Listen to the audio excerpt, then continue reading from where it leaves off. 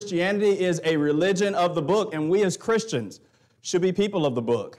In Romans 10 and verse 17, we read, So then faith comes by hearing, and hearing by the word of God. And while we often quote that passage to non believers on what they must do in order to respond to God, it's true. Faith comes initially by hearing the word of God, but faith continues to come by hearing the word of God. And to the degree that we hear from God and put his word into practice, it's to that degree that our faith will increase.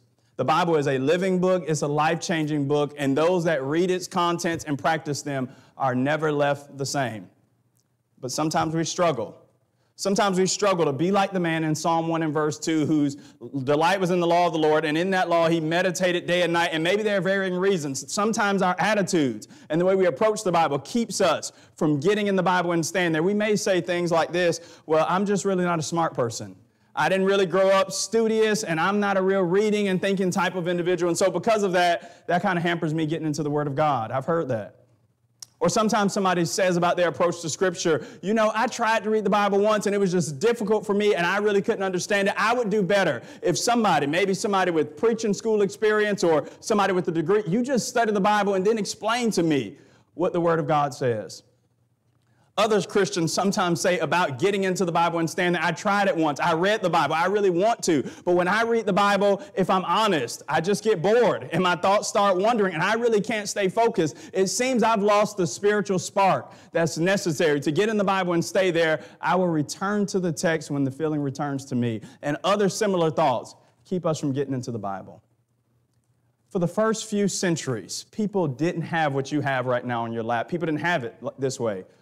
Surely Paul and Peter and others, they wrote letters, and those letters were carried by faithful ambassadors to those congregations and often read before the auditorium or the individuals gathered there and expounded. And that was to the degree that many people heard and memorized and learned large portions of Scripture, but they didn't have their own copy to read and study. They had to wait until they came to the assembly. And sometimes when we fail to get in the Bible and stay there, we're moving backwards. People that would long to have had their own copy of the Word of God, and as we have it, maybe we don't get into it as we should. And sometimes it's not our lack of ability or desire, it's just difficult. It's a daunting task, isn't it? The Bible is a relatively difficult book in some places, and it's a rather large book, and we want to approach the Bible, but sometimes it's a lot to handle. But if the Bible is the book that God wanted us to have, and it is, 2 Timothy 3 16 and 17, then we can and must do this.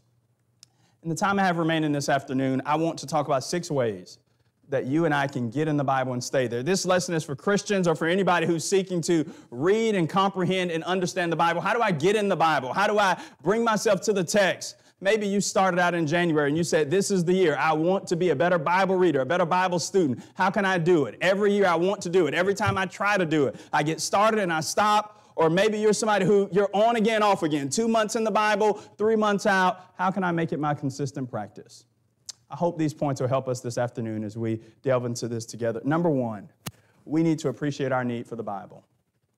The first thing we have to do, if we would really get in the Bible and stay there, is appreciate just how much we really need the text from God. Psalm 25 and verse 4, the psalmist says, Show me your ways, O Lord, and teach me your paths. We really do need to be guided and directed by God. You remember when Jesus was tempted by the devil in Matthew chapter 4? The first time the devil says, If you be the Son of God, command that these stones be made bread. And Jesus responds by quoting Deuteronomy 8 and verse 3. And he says, Man shall not live by bread alone, but by every word that proceeds out of the mouth of God. Jesus was telling Satan on that occasion what we all know if we really are in tune with Scripture, and that is we cannot live without the Bible. Before we talk about how to get in the Bible and stay there, we need to appreciate this point. You and I, we need the Bible. Jesus told Satan, man cannot live by bread alone, but by every word that proceeds out of the mouth of God. We need to first appreciate as we come to the text of Scripture that this is something that is for our benefit. It is something that you and I, we need to do. If we don't have this attitude, if we come to the text as if it's really up to us, it's our choice, we're going to miss out on the riches that we find in Scripture. And so we do need to humble ourselves down and humble our hearts to see this is ultimately for our own good. The psalmist says in Psalm 119 and verse 133 Order my steps in your word. Do you see yourself as somebody who actually needs the Bible? Somebody who's desperately searching and reaching out to God, and we need to study the text of Scripture and to glean the wisdom that God has for us in His pages until we develop that heart posture, until we're those types of people that say, I'm not wise enough to govern myself. We'll never get in the Bible and we'll never stay there when we do. First, we need to say to ourselves, we need it. The gospel, according to Satan, is this you and I are so smart, so industrious, so wise, so self sufficient that the last thing we need is a God to give us a book, to give us rules, and to snatch all of the fun out of our lives. But the opposite is true. You and I are honestly sin sick, lost sheep, often discouraged people that need to hear from a God who loves us and wants to direct our way back to Him. Deuteronomy 10, 12, and 13, Moses said, This is what God wants from you to keep his word, walk in his statutes, which I give you and command you this day for your good. It's for our good that God's given us the Bible. And do you know why he's done that? It's because we need it. Moses was at the burning bush in Exodus chapter 3, and you remember he has this encounter with God, and God says, I'm the God of Abraham, Isaac, and Jacob, and go and tell Israel that I've come to deliver them and give them the land of the Canaanites. And Moses does that. But Jen Wilkins is right when she says, For you and for me, the Bible is our burning bush. If we are going to hear from God, it's to the degree that we come into contact with the text that God has given us and we make it a part of who we are. It's not enough to say we need to read the Bible dutifully, which we do because the Bible commands us to study it, but we must read the Bible desperately because without it, we are lost and wandering sheep without any place to go. You and I need to first approach the Bible acknowledging our desperate need. We are spiritually impoverished. If God didn't speak to us from heaven, we wouldn't know where to go. We need the Bible. We need the Bible to tell us how to be saved. Acts chapter 2, 37 and 38. When they said, Men and brethren, what shall we do? Peter and others were able to give an answer as they were led by the Holy Spirit, and they wrote those words down so we can continue to share it with other people. We need the Bible to tell us the truth about ourselves. Romans 3 says, There's none righteous, no, not one. We need the Bible to introduce us to God. Exodus 34, 6 and 7, God describes himself as gracious, long suffering, not letting evil get past him. We need the Bible to tell us who God is. We need the Bible to lift us up when we're discouraged. Proverbs 12, 25 talks about anxiety weighing down the heart, but a good word, that would be the words of Scripture, makes it to rise. And we need the Bible to reveal the glories of heaven to us. 2 Peter 3:13 says we look for new heavens and a new earth where righteousness dwells. You see, before we talk about the Bible, we first have to appreciate, acknowledge your need for it. Now, here's number two how to get in the Bible and stay there. Avoid enemies to Bible study. Avoid the enemies that are out there that would keep us from the Word of God. I guess most people didn't know this until it was revealed in the documentary, The Last Dance, but Michael Jordan talks in that documentary about the idea that what he would use to get him geared up for competition is he would just manufacture enemies. He would imagine in his mind that his opponents or critics were saying negative things about him, and it would give him that extra edge. It would give him the extra umph that he needed. I don't know how much extra edge Michael Jordan needed, but he used it anyway to defeat his enemies. You and I don't have to do that. We don't have to manufacture an enemy because there actually is an enemy of the soul. 1 Peter 5 and verse 8 says, Be sober and be vigilant because your adversary, the devil, as a roaring lion, walks about seeking whom he may devour. The Bible says we're to bring every thought into captivity and obedience to Jesus, 2 Corinthians 10, 4 and 5, and He is doing everything that He can to get us to think about everything but the Word of God. If we're going to study our Bibles, we need to be people that acknowledge there's a sense in which we're on the enemy's turf. I know God created this world. This is our Father's world, but the Bible also says the devil is the prince of this world, the God of this world. And so he's not exactly creating conditions that'll be conducive for you and I to get a good Bible study in. The devil's not interested in making sure everything aligns perfectly in your life so that you have a consistent, quiet time with God. No, that's not true at all.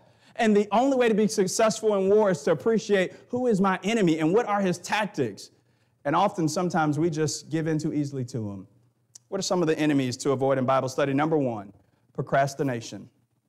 Sometimes we just procrastinate. Brian Tracy, in his book, Eat That Frog 21 Ways to Avoid Procrastination, he levels, he talks about our, our duties as if they were frogs. And he said, if you ever have to eat a frog, do it first thing in the morning.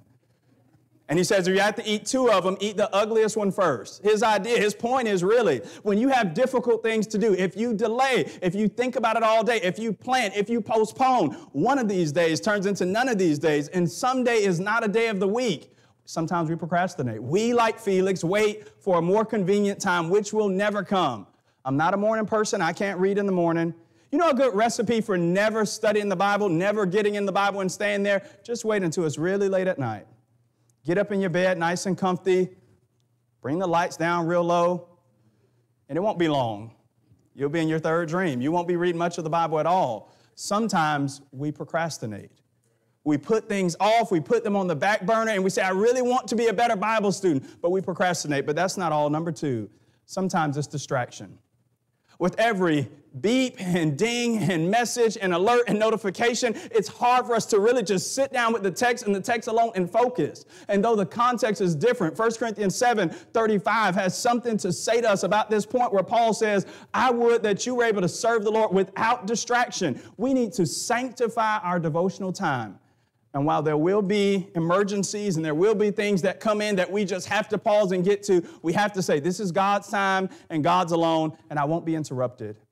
I'm going to give myself over to this and I want to do it at this time for this purpose. Nobody can read the Bible every day, all day. I don't think God wants us to do that. There's too much in the Bible for us to do than to die in our studies. However, the time that we set aside to study needs to be actually the time that we study.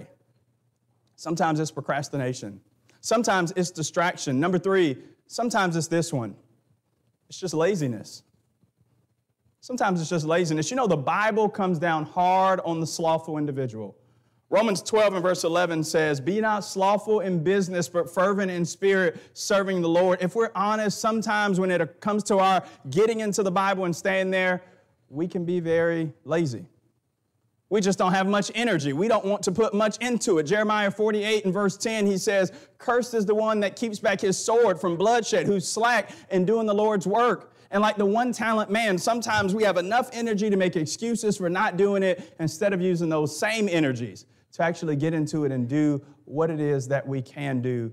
We need to avoid those enemies. But the last enemy, and this is probably the worst of all, the enemy that keeps us from getting in the Bible and staying there most often is ourselves. Nobody can stop you from reading the Bible if you really want to. I know sometimes people are worried about our culture and the things that are going on and what's going to happen to our religious freedoms potentially. But the truth is, many people have already surrendered them without anybody imposing anything on them. Somebody says, they're going to take my Bible. Well, you weren't reading it anyway. Sometimes we're our own worst enemy. Sometimes the reason why we don't get into the Bible, one of the enemies is it's just ourselves. We don't want to, we don't put in the effort, and we should. Before we can get in the Bible and stay there, we need to appreciate our enemies and who they are, and we need to have the right heart posture as we approach the text so that we don't get in our own way. Here are seven heart postures to have as we approach the Word of God. Approach the Bible prayerfully. Don't just pick up the Bible and open it up and join in and just read. We should approach the Bible prayerfully. It's God's book. Let's talk to God and make sure we rightly handle the Word of truth. We're not praying for any illumination or any special revelation. The Bible's not dead. We're not praying for God to make it alive. It's already alive, but we need to pray that God helps our mind be in the right place. The psalmist in Psalm 119 and verse 18 says, God, open my eyes that I might behold wondrous things out of your law. That needs to be a part of our prayer. Number two, approach the Bible humbly. Some people, and Forrest talked about this, their problem with the Bible is they come to sit on trial. They put the Bible on trial. But the more you read the Bible, the more we see we're the ones that are on trial and not the Bible. 1 Peter 5 and verse 6, he says, Humble yourselves under the mighty hand of God that he may exalt you in due time. When you and I approach the text, we should do it humbly.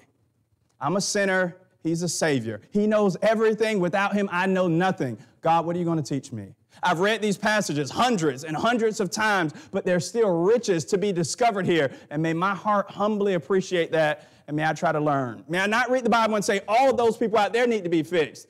Humbly approach the Bible and say, God, Destroy every piece of unrighteousness in me. But number three, we need to approach the Bible studiously. Somebody says the Bible's hard to understand sometimes. Why would we expect it to be otherwise? Paul told Timothy, study or give every effort to show yourself approved. Peter says as much in 2 Peter 1 and verse 10, give diligence, the same word is used. In both texts, give diligence to make your calling and your election sure. Approach the Bible with this idea I'm coming as a student. That means you might need a dictionary and you might need a concordance and you might need maps because you see, the Bible is to be read, but it's also to be studied. This is not the morning newspaper. This is not the New York Times. The Bible is a book to be read, but it's also to be studied. Number four, approach the Bible obediently. If you love me, keep my what? Keep my commandments. If we're not going to do what the Bible says, we're not really being true to it. Number five, approach the Bible joyfully. Oh, how love I your law. It's my meditation all the day. The Bible is a book really of good news. The last word in the Old Testament deals with curses, but the last word in the New Testament deals with the grace of God. The Bible is a book to be joyful about. There are hard things in the Bible. John was told some of the things he would digest as a prophet would make his belly bitter, but there was also sweetness there. And the sweetest part, of course, is Jesus Christ. Number six, approach the Bible expectantly when you and I read the Bible, we should expect to be changed. When we go out and talk to other people and teach them the Bible, we should expect it to change them. In Isaiah 55, God promises, My word will not return to me void. The more we study the Bible, we should expect to see results. And then, number seven, approach the Bible Christocentrically. That means look for Jesus. The Bible ultimately is about a person. Jesus told the Pharisees, You search the scriptures because in them you think you have eternal life, and those scriptures you read, they actually testify about me. Read the Bible and find Jesus. As he's talked about in the old prophesied, there are allusions and mentions of his coming. And then in the New Testament, as he explodes on the scene in the Gospel of Matthew and walks with his people throughout the epistles, and you see him at the end of the Bible in Revelation as our Savior, approach the Bible Christocentrically. We've got to avoid enemies to the Bible if we would get in the Bible and stay there. Now, here's number three appreciate that there are different avenues to explore. This is about getting in the Bible and staying there. What do I need to do in order to get in the Bible and stay there? Appreciate your need. You need the Word of God, you need the Bible. But number two, avoid enemies, distraction. Don't use yourself as an excuse. Don't be lazy. But then number three, appreciate that there are avenues to explore when Paul was near the end of his life in 2 Timothy 4. You remember what he told Timothy? Do your diligence to come before winter. By the way, go by Troas and get the cloak that I left, and bring with you the parchments, the books. Bring the cloak that I left and get my materials, get my tools that I need. Now, I don't know what Paul planned to write, and I don't know if Timothy ever made it with those materials, but Paul wanted those things.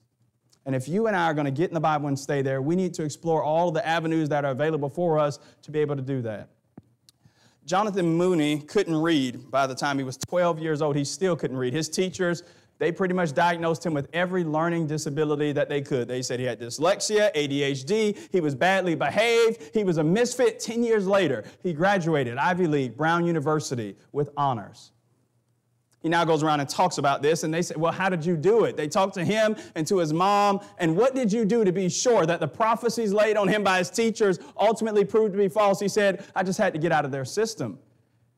He said, This is what I learned. In the end, if the child can't learn what you're teaching, teach in a way that the child learns. They had a system. They wanted me to learn this way. I couldn't grasp what they were teaching. And as soon as I worked out of their system, I learned the same material, but I learned it my way. Sometimes when we talk about getting in the Bible and staying there, let us not waste too much time about the different methods and ways, and let's just get in there and do it. There are various ways to get into the Bible. One of the ways that may be underemphasized, that we might overlook,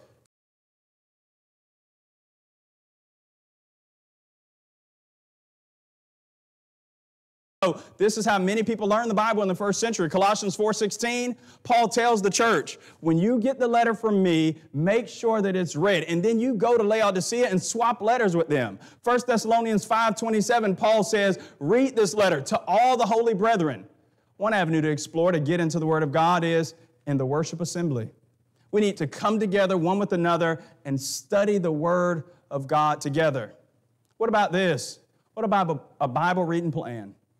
Sometimes I say, well, I just, in the mornings, just open my Bible and go. And I guess that's good, right? You can just, as long as you get in the Bible, that's good. But just flipping open at random, what if you had a plan of some sort? What if there was a systematic way to get into the Bible with, at small chunks at a time and learn the Word of God? You could read through the whole Bible, four chapters a day.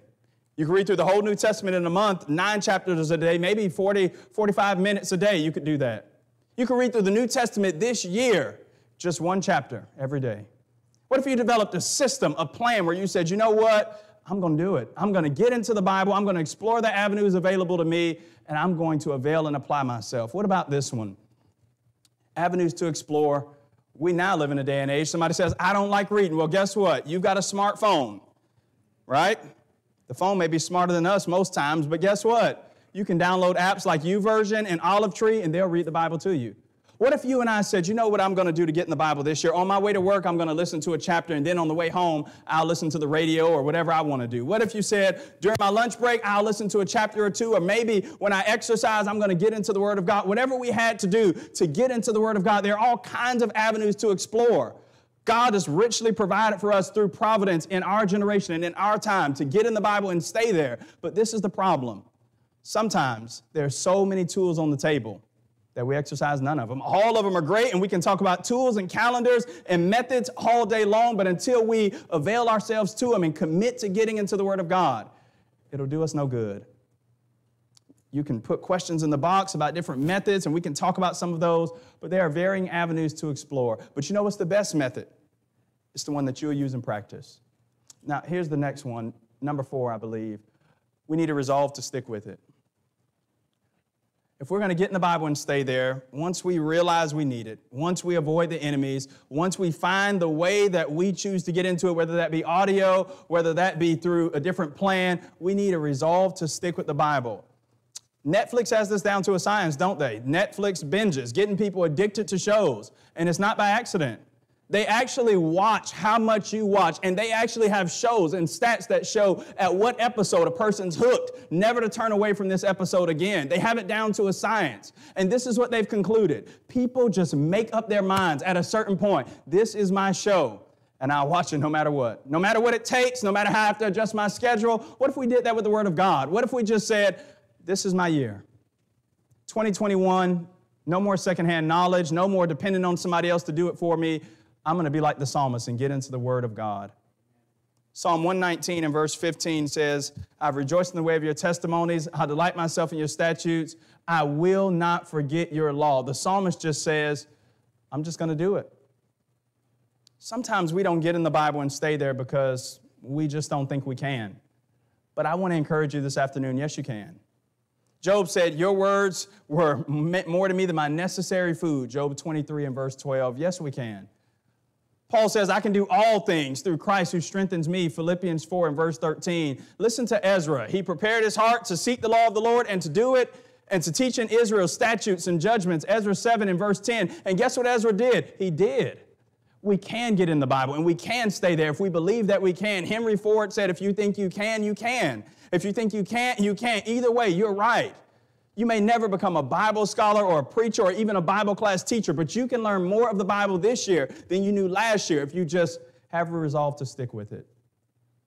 Make up your mind. Let's make up our minds that guess what? I'm going to get in the Bible for myself and I'm just going to stick with it. I'm going to read my Bible. I'm going to go to the well every day, over and over again, and delve into Scripture over and over again. It's what Paul told Timothy study or give every effort to present yourself approved.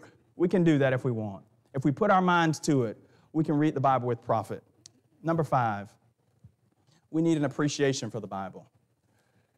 If you and I are going to get in the Bible and stay there, it's to the degree that we actually appreciate it. There's never been a time in our lives when we didn't have it. And so maybe we don't think about it as much as we should, but we need to develop an appreciation for the Word of God. God didn't have to give it to us, but He chose to in His love. And when people write about Scripture in Scripture, it's impressive to listen to the delicate language that they use to talk about how much the Bible means to them.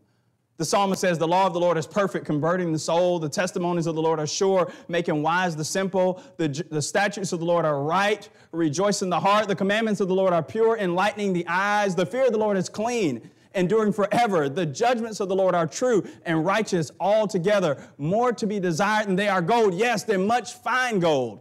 Sweeter also than the honey and the honeycomb. The psalmist David is saying in Psalm 19, God gave natural revelation, and that is amazing. And you can look at the stars that he hung, Genesis chapter 1, and the sun, and you can be impressed with, I'm not here by accident. But that's not enough. God went further than that because we need it more than natural revelation. God gives special revelation so that we can not only know that He exists, but we can know why we exist and how to make our way back to Him. That's something natural revelation could never do. And so God went a step further and gave us the Bible. Now, here's the question Do you appreciate it? Do I appreciate it? Do our study habits reflect our answers to those, those questions? We can say all day, I appreciate the Bible, I really love the Bible, but how do we use it? Some of us got things for Christmas and we smiled when we opened it and we told people we were thankful and it's already in the garage somewhere, right? We really didn't appreciate it. Somebody gives you something and then they find themselves on Amazon later and you're selling the very thing you told them you really appreciated and you love to have, you're just giving it away. That would be testimony to the fact that really doesn't mean that much to you. How much does the Bible mean to you? How much does it mean to me? If we're going to get in the Bible and remain with it, if we're going to stay in it, it's to the degree that we appreciate it.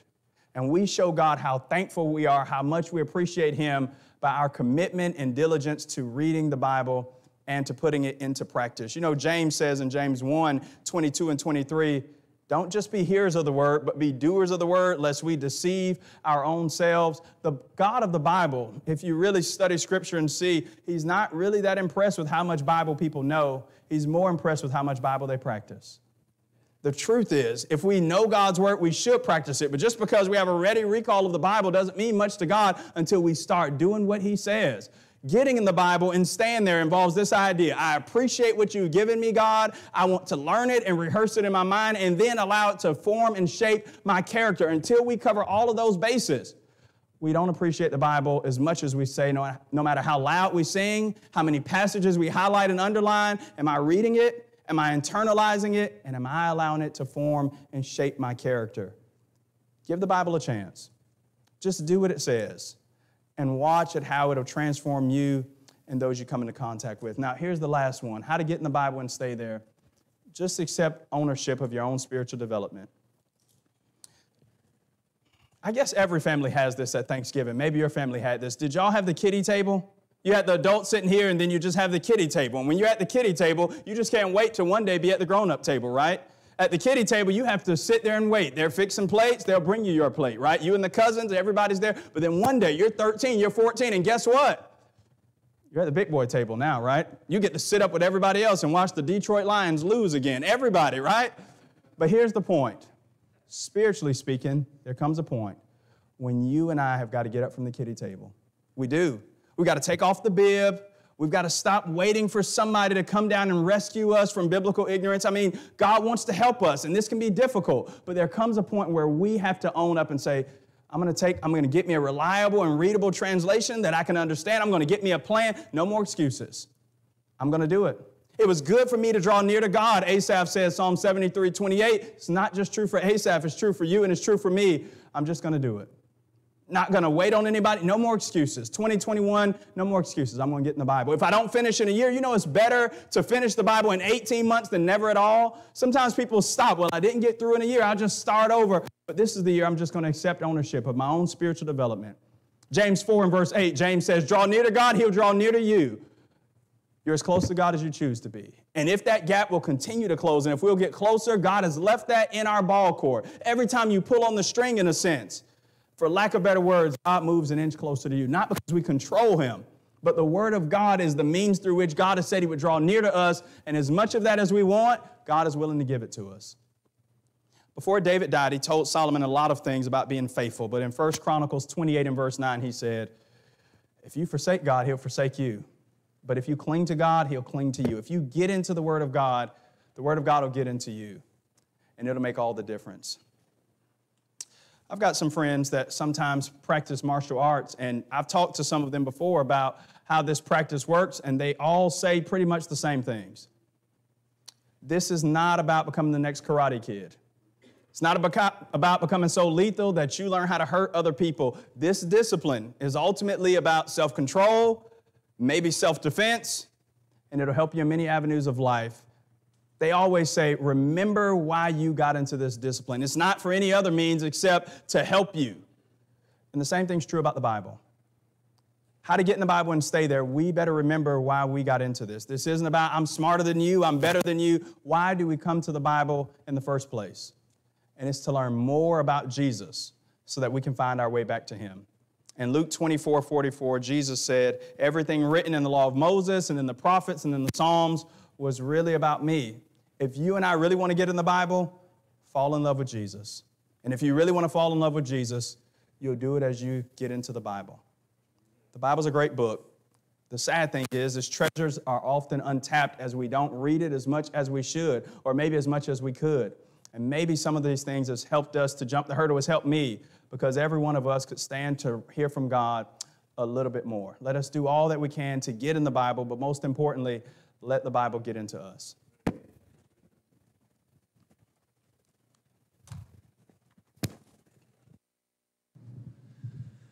All right, appreciate that great lesson and appreciate the points he had and the encouragement that he gives us to stay in the Bible. And so we appreciate that. We're going to stand and sing a song. Uh, Brother Tim Simmons is going to lead us in that song. And then I will briefly introduce the speaker just for the sake of the video. Uh, but Joshua Cantrell will bring us a lesson right after that, after a brief introduction.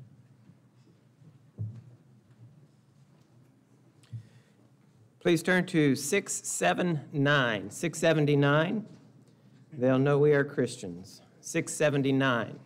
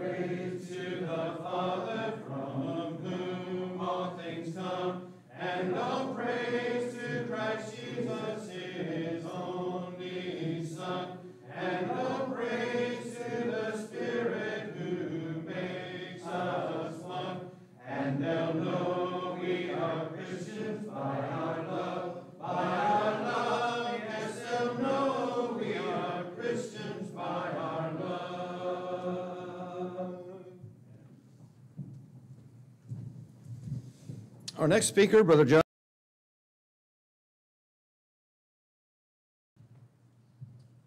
We live in a world today that is greatly influenced by the culture in which we find ourselves in. As soon as you turn on the television, there is culture. When you drive down the street, there is culture. Culture is even found in the way we talk. A culture is found in where we go to school. Culture is found in the way we grow up. Culture is all around us. But the question for consideration this afternoon is Does culture affect doctrine? Should culture affect doctrine? First of all, this afternoon, I believe we have to come, o- we have to get out of this idea of uh, the church somehow wanting to uh, be like the world. I tell people all the time, you know, there's this strange idea of the world uh, coming into the church. When the church, we need to get out into the world. The Bible talks about in Romans 12, 1 and 2, Paul there talks about be not conformed to the world, but be ye transformed by the renewing of your mind, that ye may prove what is that good and acceptable and perfect will of God. A couple years ago, there was this trend that just took the world by storm, and the phrase more or less was YOLO. You only live once. We hear all the different trends. We hear all the different cliches. The other day, ironically, an individual, I asked them how they were doing, and they said to me, Well, you know what, Josh? I'm too anointed to be disappointed. I'm too stressed to, and, and, and, and all these other things that we find going on within the world today. First of all, this afternoon, there has to be a standard. There has to be a total absolute of something that is good and that is true. Well, what is that standard? The Bible lets us know in, in, John 14 and verse 6, Christ speaks of himself saying, I am the way, I am the truth, and I am the light. John 8 verse 32, ye shall know the truth, and the truth shall make you free. The Bible constantly lets us know that there is a standard. There is something that is absolute good. There is something that is absolute right and perfect all the time, and that's God. I don't know about you this afternoon, but there have been many times where I thought to, to myself that, you know what, Josh, you're really right about this thing, only to come to realize I have no idea what it is I'm talking about. Only come to realize that, you know what, someone actually knows more than I do about a certain issue or a certain topic, but the one who knows more than us all the time is the God in heaven. And if the God in heaven knows more than us all the time, that lets me know immediately that the standard He has given us, the standard He has put in place, the standard called the Bible is absolute good. And it's not just good some of the time, it's good all the time. When you look at the Bible, when you look at everything it has to say about our salvation, you look at everything it has to say about culture, John chapter 4, or we'll talk about that at the end as we make some application. But again, the Bible lets us know there is a standard, there is something that is absolute. If you remember in Hebrews 10, verse 7, that the Bible says, Lo, I come in the volume of the book. Ephesians 3, verse 4, whereby when ye read, ye may understand my knowledge in the mystery of a Christ. Isaiah 34, 16, seek ye out of the book of the Lord and read. John 5 39, search the scriptures, for in them you think ye have eternal life, and they are they that testify of me. In terms of this culture, in this doctrine, before we even talk about the two, there has to be a standard. What is that standard? It's the Word of God. What is the thing that is absolutely right and true all the time? It's the Word of God. Secondly, this afternoon, not only is there a standard, but we also want to talk about this idea of culture. What is culture? There are many of times where I find myself talking to young adults or talking to uh, individuals who are younger than me, and I find myself uh, realizing as soon as we get used to one terminology about a certain subject, it, it, it's almost as if the next day that word means something different than it meant five or six years ago. And we see how culture is always changing. Culture is always moving on to the next thing that is trendy and that is good. But if it's one thing that is constant, that is consistent, that will remain the same, is God's Word. Culture, again, is found in everything. In different countries, people do things differently than we do in America. Now, in any way, is that wrong? Absolutely not. It is a part of their culture. It is a part of how they do things. It is a part of how they grew up as well. So again, the question is, Josh, how does culture affect the Bible? Do those things interscope? Do those things have anything to do with each other. Again, there is a standard. There is something that is set in place in order for us to see that God wants us to be right. First of all, when we're talking about culture, we have to realize that culture changes. Again, as we just stated to you, over a period of years, over a period of days, over a period of hours, something can mean one thing, and in a certain few hours later, it means something different. Again, as I mentioned to you, uh, there was one time a couple years ago, I went into the back at our uh, congregation. I was working with the young adults or the or, or the youth group there. And they were, you know what, just hanging out, having a good old time, uh, using words that I knew nothing of. And I, and I think that's a bad thing uh, because I'm not any much uh, older than they are. But they were just hanging about, having a good old time. When they came to ask me uh, what a certain dance was, and I, you know, proceed to tell them what the dance was. And they say in response to that, well, uh, Josh, you must be really old. Because that dance was X amount of years ago, only to come to realize the dance was only maybe two or three years ago. And it just goes to show you again how culture just simply changes over a period of time. Not only is culture, not only does it change, but culture is also something that is learned. You can have three individuals stand up here with one song and they each sing the song differently. Why is that? Because they each have learned the song a certain way. Now, does that in any implication say one is singing it right and one is singing it wrong? I guess if you look at the music and the notes, maybe. But for the most part, that it just goes into that person and their culture and how they grew up.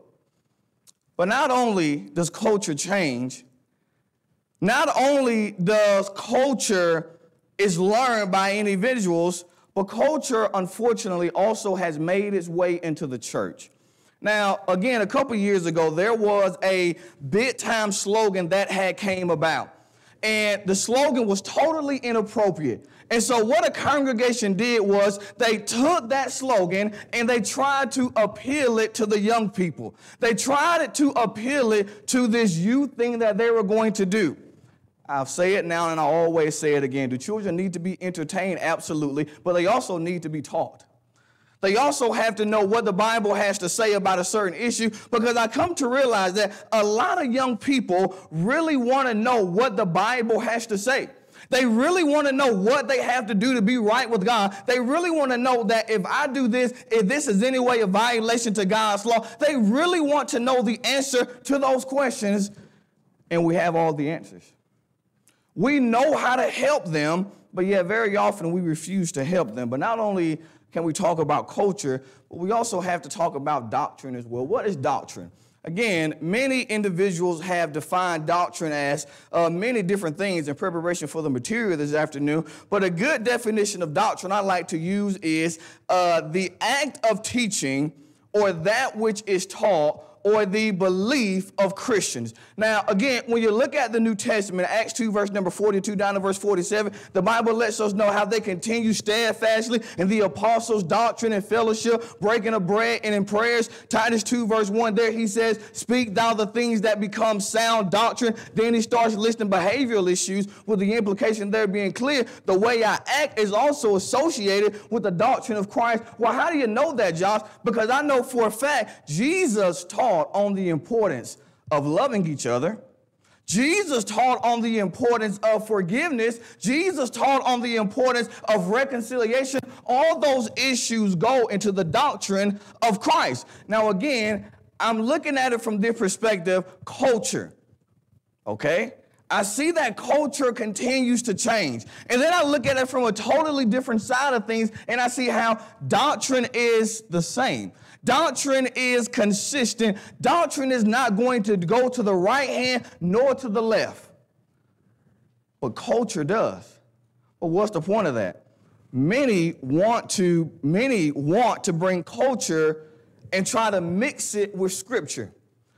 And we come to realize the more culture we bring in, the more Bible we put out. And, and, and when we get to the point where we are emphasizing culture over what the Bible has to say, that's going to be a very bad day for the Lord's body. But when you find over the past 12 months, over the past 20 years, over the past 100 years, many love this idea of bringing culture, of bringing the world into the church, and we wonder why we're not carrying out the Great Commission. I can tell you exactly why. Because our minds are on something else. Our minds are caught up in those worldly things that are not making us better Christians, that is not spreading the gospel to those that are lost. And we see people just slowly going out the back door, and we have the thing that can help them. But you know what? We like to make people feel good, don't we? We like for people to feel good about their sinful condition. They can go out lost just as the, just as lost as they came in, and they believe in their minds that they're okay when they're not. But yet, culture tells us, you know what? You don't have to change. You're fine just the way you are. Culture tells us you don't have to be baptized. You don't have to change the way you talk. You don't have to change the way you live. You don't have to change the things you say. Culture says, you know what? If it feels good, just go ahead and do it. Culture says, you know what? It's really not that big of a deal. Culture says you really don't have to listen to your parents. Culture said, you know what? Matter of fact, you tell your parents you run the house. I don't know about you, but that never would have worked in the Cantrell household. Going to tell my parents, you know what? I don't want to do that today. I don't want to go down to the youth rally. I don't want to go down here to worship a Bible class. Growing up, uh, me, I guess so to say, grew up in the church. We were always at church. Sunday, Monday, Tuesday, Wednesday, Thursday, Friday, Saturday, Sunday, doing all over it again. And I come to realize that now that I'm older, I appreciate those, those things.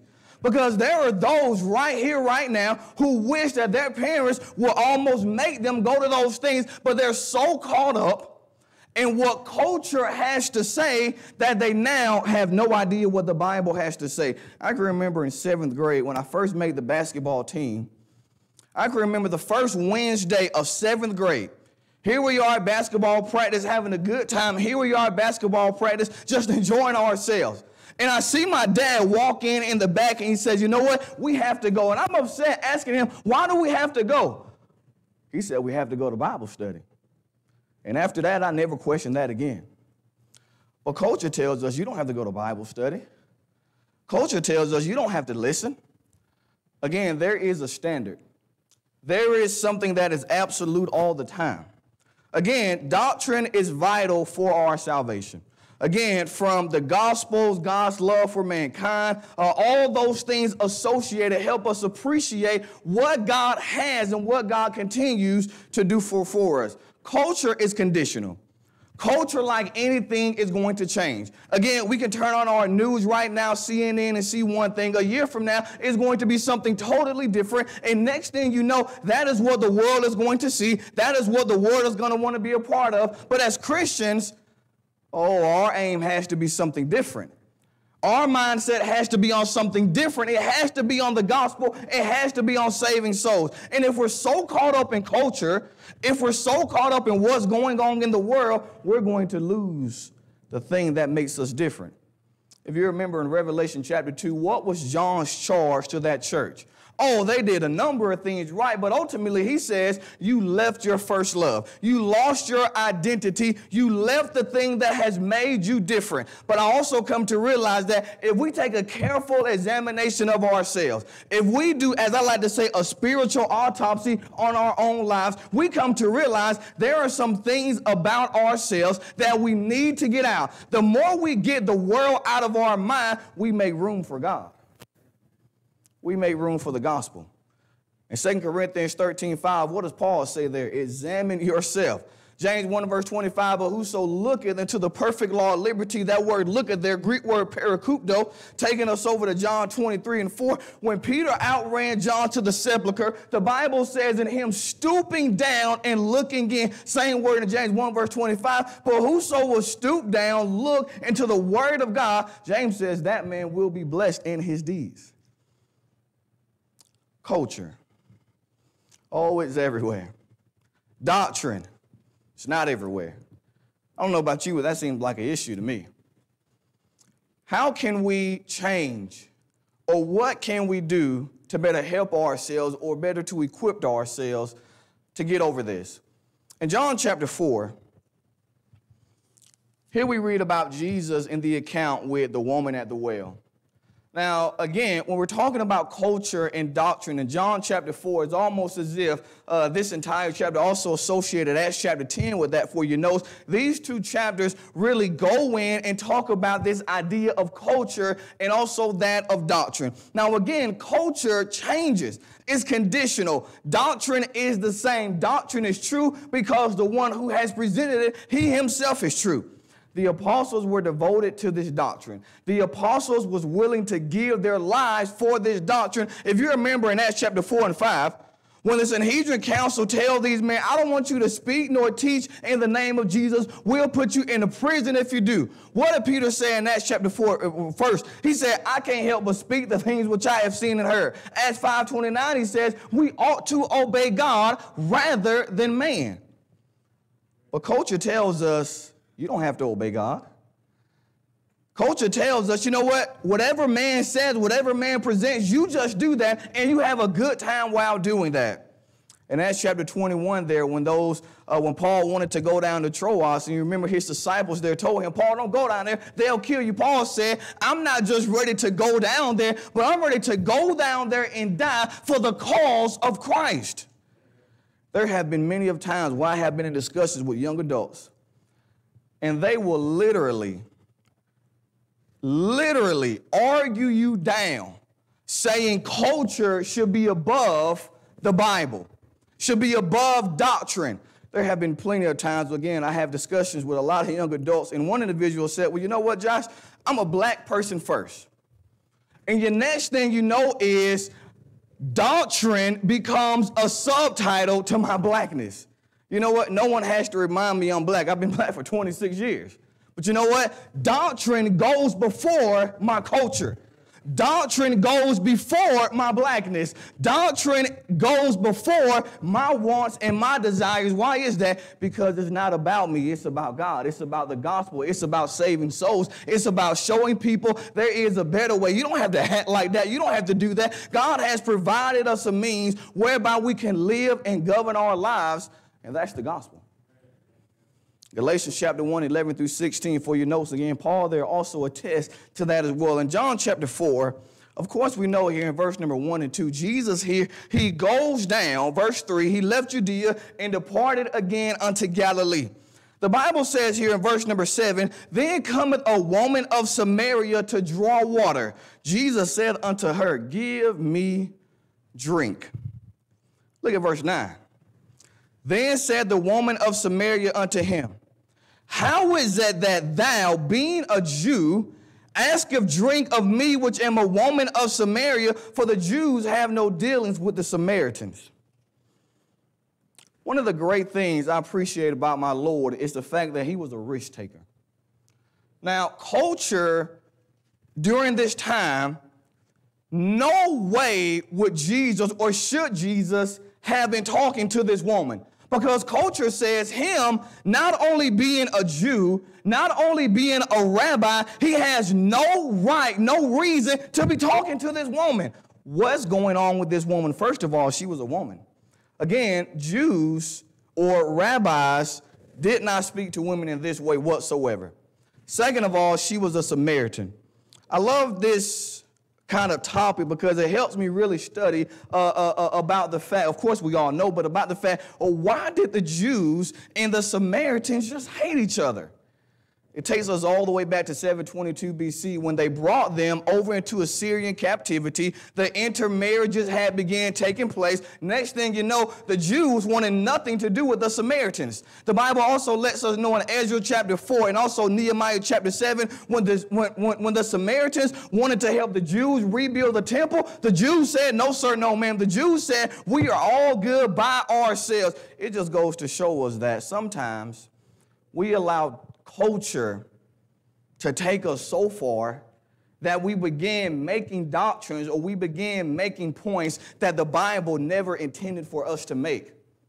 The next thing you know, we have differences going on that have nothing to do with Bible, that have nothing to do with Scripture. Is all about what you know what? I don't want nothing to do with that person. You know what, church? If we want to go to heaven, we, we, we, we should have something to do with that person.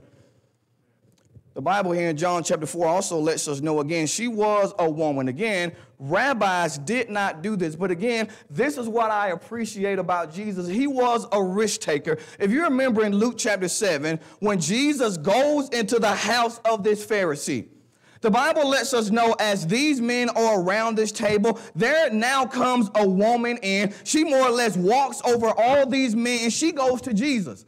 And if you remember there, the Bible says the Pharisee spake within himself, saying, and I just appreciate this the fact that uh, he speaks within himself and Jesus answers him out loud. Well, Simon,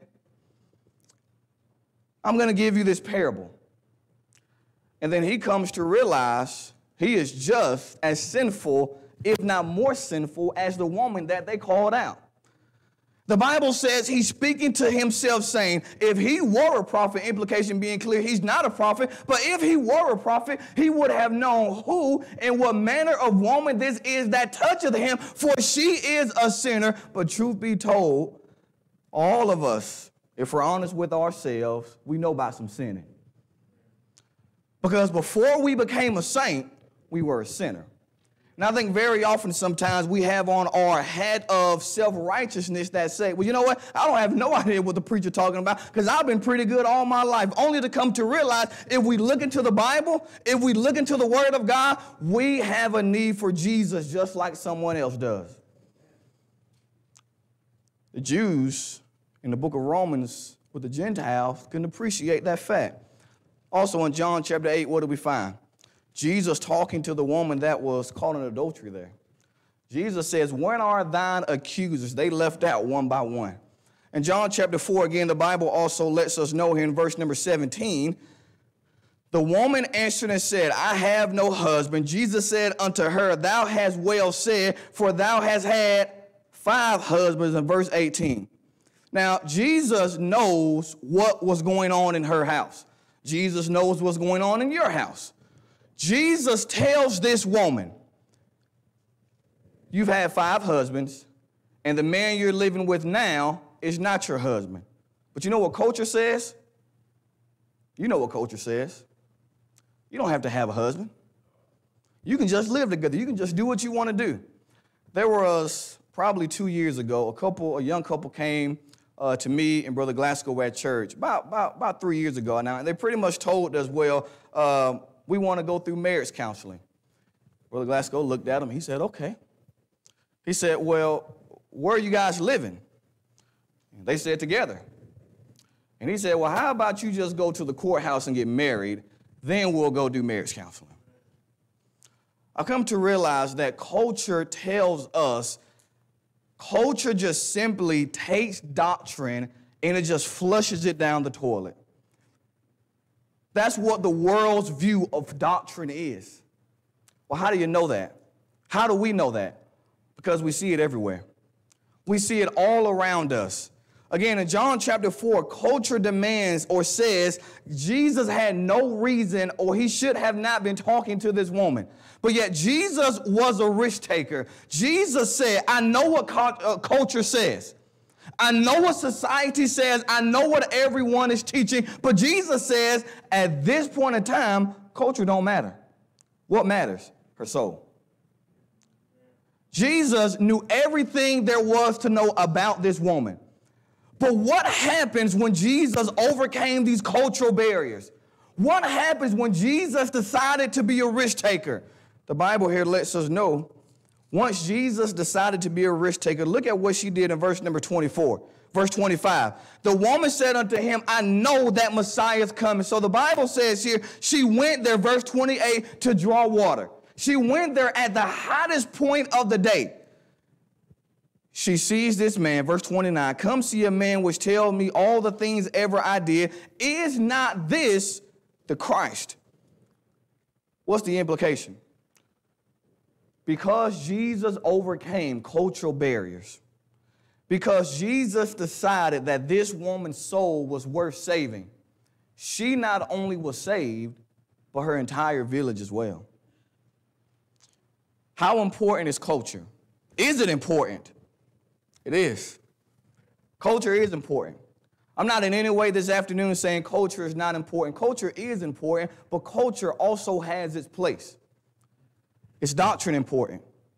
Doctrine is the most important thing. Doctrine is the thing that will take us from earth to heaven. Doctrine is the thing that is going to change the world. Well, how do you know that? Because it did many years ago. Is culture important? I keep saying yes because it is important, but you know what? Culture is not going to bring the world out of darkness into the light. Culture is not going to save us from our sins. Culture is not going to make us better, but the doctrine of Christ will. Does culture affect doctrine? Unfortunately, it does. But should culture affect doctrine? It should not. Why is that? Because God has given us a book God has given us a standard. God has given us this Bible to make us better people. I don't know about you, but I'm going to try my hardest to not allow culture to affect the way I view doctrine. Thank you so much.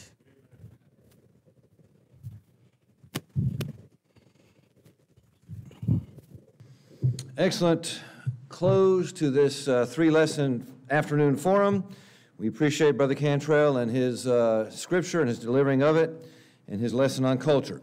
As we have been mentioning, uh, we will take a break in just a moment, and then we will have a question and answer period while the ladies' class is going on.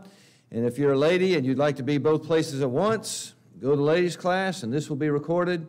And I'm pretty sure that will, I'm not sure if it will or not. I'm pretty sure it will, though. But you know me and my impromptu suggestions here. But anyway, we appreciate uh, those lessons. And uh, perhaps it uh, jarred a question in your mind about culture and doctrine. And so please write that down and give it to us. You can put it in the box over there, and we'll address those. And what, what we'll do is when we come back from the break, uh, Forrest, Hiram, and Joshua will form kind of a panel. I'll kind of be the moderator, and of course, if uh, someone else, uh, George Beals, will get him on, some of the questions deal with some of the stuff he spoke about this morning. Unfortunately, uh, Rick and Doug uh, have been delivered safely to the airport, and so they're on their way back home. Uh, they will not be able to be here for the question and answer period, but we'll have plenty of ways to address it, and we look forward to that. Also mention about the book, and um, the book is available. Uh, this is our I think, well, what, the 26th, 27th, something like that. Since 1994, we've been doing a hardcover book.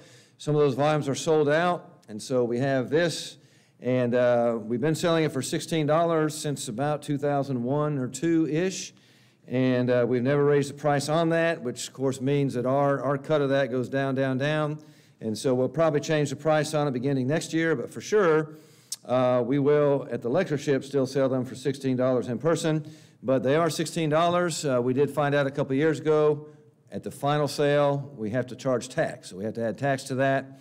And then if you want to ship it, we'll ship it, and, but you got to pay the postage. We don't charge handling though, okay? Just the postage you'll, you'll get, and we'll send that to you. Uh, as we mentioned, uh, there was a uh, mess up, if you will, an error uh, in printing, and so we have uh, pages uh, 129 through 192 are somebody else's lectureship, okay? So we got a half a lesson by uh, Bruce Hatcher on Mormonism, and the first half of a lesson by, um, uh, I guess I'll have to look. Anyway, Owens, Brother Eric Owens, on why churches don't practice church discipline. So that's good stuff. It's good material, good bonus material. Not part of our lectureship, but part of someone else's. But we do have a supplemental book, so if you buy the book, you do get this along with it and this has the lost chapters of the lectureship book. And they are, well, part of Kyle Butt's. We have all of Kyle Butt's lecture in here. If you have a book, it's chapter 7, 8, 9, 10. Uh, but we have these in a booklet here. Now, if you do get the PDF, the PDF is fine, no problems. It's all the way it ought to be. But uh, had a little glitch. We'll blame it on COVID uh, situation with the book. But we appreciate your attention. We'll have a brief prayer. And uh, the ladies' class will be in the fellowship room. Yeah, so we'll uh, make sure we vacate the fellowship room about 3:25 so they can get all set up for the ladies' class, and then we'll have um, we'll have the question and answers. All right, let's pray.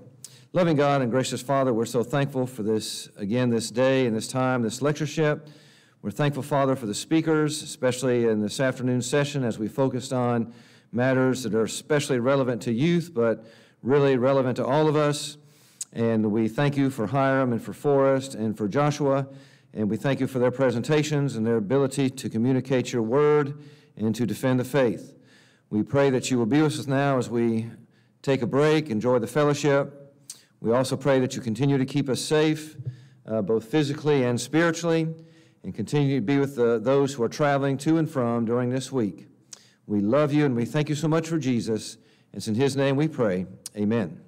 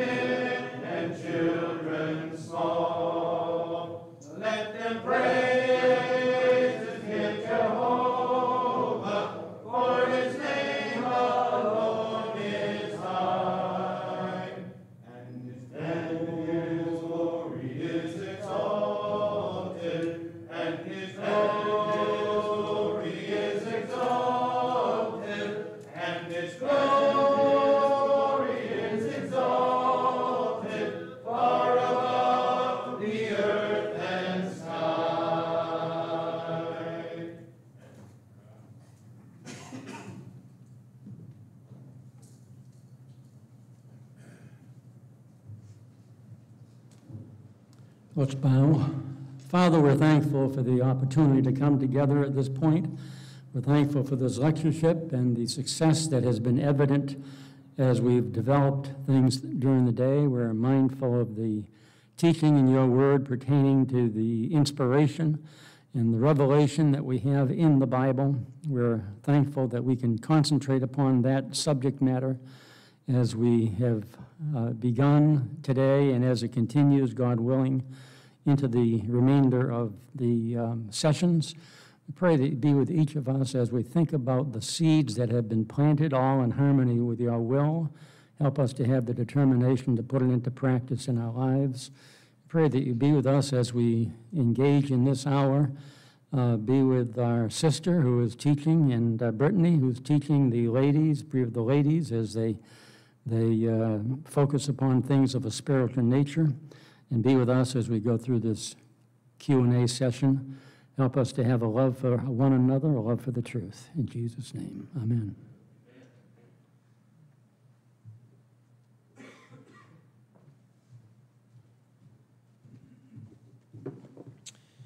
Just want to introduce uh, this session of the lectureship.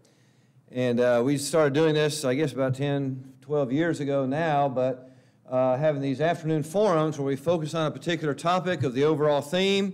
This year, the theme is God breathed Scripture. And on Mondays, we have chosen for about the last four or five years to focus on youth related matters primarily. And of course, all of this applies to everyone anyway but especially uh, focused on some things that the young people are struggling with in our culture today. And so the three lessons were really toward that topic this, this, this afternoon. And at the end of that, we have been, you know, like a question and answer period.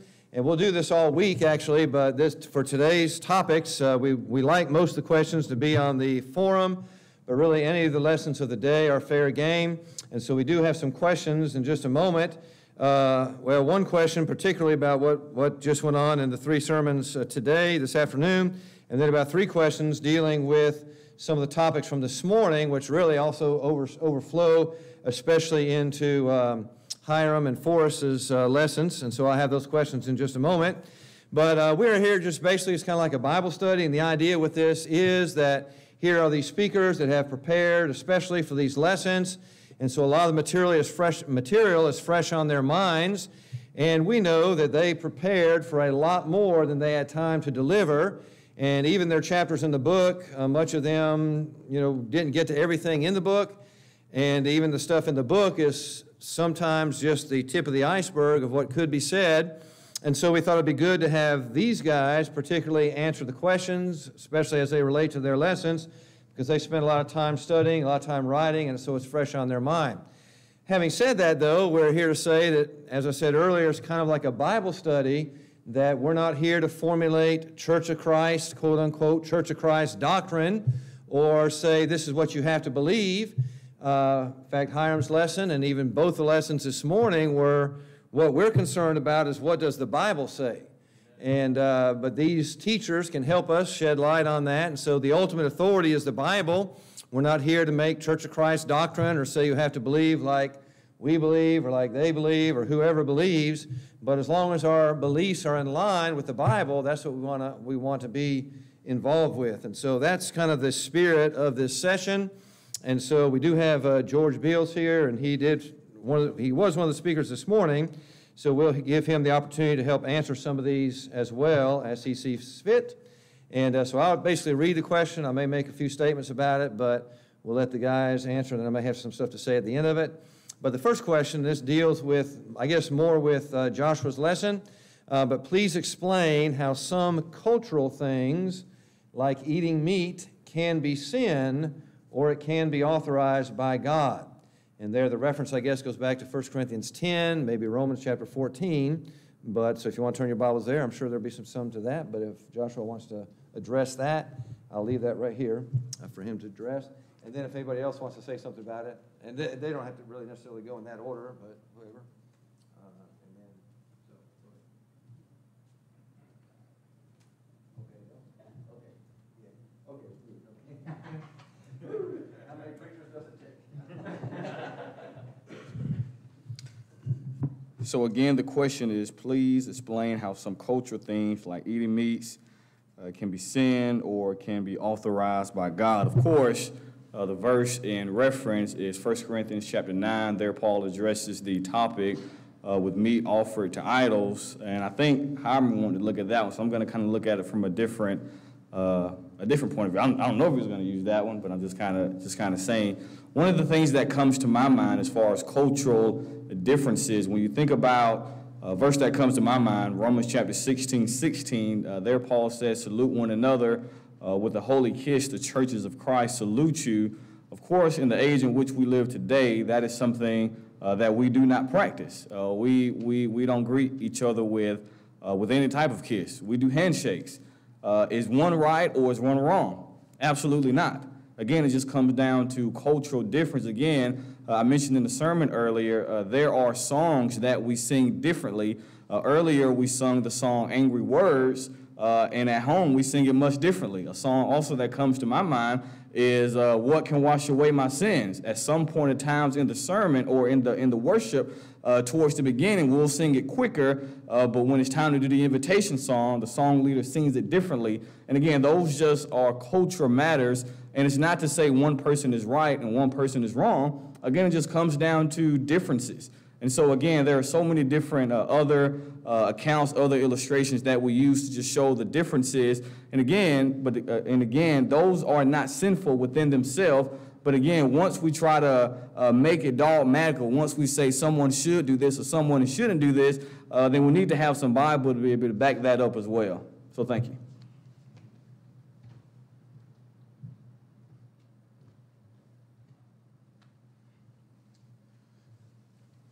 For what it's worth, I was not going to answer this question. Brian said, turn your Bibles to 1 Corinthians 8, and that's what I did. And then the next thing you know, I ended up here. Anyway, um, but concerning the cultural questions about things like meat being sin or not sin, I think 1 Corinthians 8, 9, and 10 is really the way to go. Romans 14 and 15, there's a parallel, but I think there's a different discussion, though the principles are much the same. Romans 14 and 15 seems as if Paul is describing there to eat meat or not to eat meat, maybe vegetarian versus some Judaizing laws. But in 1 Corinthians 8, 9, and 10, the discussion is about meat that's been sacrificed to idols.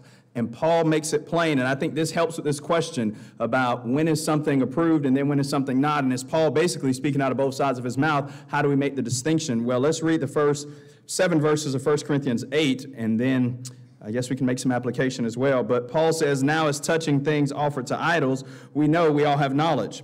Knowledge puffs up, but charity edifies. If any man thinks that he knows anything, he knows nothing, yet as he ought to know. But if any man loves God, the same is known of him. As concerning, therefore, the eating of those things which are offered in sacrifice to idols, we know, and by the way, throughout this whole section, the main word is know. Paul's talking about their knowledge. We know that an idol is nothing in the world, and there is none other God but one. For though there be that are called gods, whether in heaven or in earth, as there be gods many and lords many, but to us there is but one God and Father, of whom are all things, and we in him, and of one Lord Jesus Christ, by whom are all things, and we by him. Howbeit, there is not in every man that knowledge, for some with conscience of the idol unto this hour eat it as a thing, as if it were offered to an idol, and their conscience being weak is defiled. Paul is worried about several things as it relates to the meat that's been offered to idols. He states the plain truth in these verses. We know an idol is nothing but a figment of individuals' imagination. We have that knowledge. Then he quotes Deuteronomy 6, 4, and 5 there's one Lord, there's only one God. However, some people, when they eat this meat that had been sacrificed to idols, they do it in worship. And throughout chapters 8, 9, and 10, Paul's point is simply you can eat the meat, it's just food. But if there's ever the occasion where you're eating this meat, and somebody would even get the impression that you're doing this in uh, participation with or support of the idolatry, then Paul is saying that you should refrain. Furthermore, the second thing he says is, if it's going to cause your brother to stumble. That's at the end of this, 1 Corinthians 8 and verse 13. He says, If meat makes my brother to offend, I won't eat meat again as long as the world stands. And so, something in our culture can be just relatively good. Nothing wrong with eating meat. But if it's perceived as that which joins us to worldliness or sin, then we should refrain. Paul would go on to say, not for my conscience, but for the conscience of this other person, so that they won't think that I'm in line with their wickedness. So I guess one example would be the ladies are in that session. This is just the one that comes to mind, okay? And so if um, if carrying a red purse, there's nothing wrong with doing that. But if our society started to remark that carrying a red purse or carrying a black briefcase, if culturally that became the way that people would acknowledge their worship to a pagan deity, then Christians could do that so long as we didn't join in with culture, so long as we didn't, you know, say, hey, we're lining up with them. But in the event that people got the idea that based on our practice, we were going along with them, I believe Paul would say we should refrain. And if there were Christians that were stumbling because of that, hey, you're carrying a black briefcase. All of those guys do that, and they're all in the atheist society. Then it might be better to carry a brown briefcase or to do something to distinguish us. And Paul says, I won't eat meat if it's been sacrificed to idols, if people think that that makes me an idol worshiper. And so we've got to consider what is inherently sinful, what's going to cause someone to stumble, and what's going to affect our influence in the world. At least those are some of the ways I think we should start to answer that.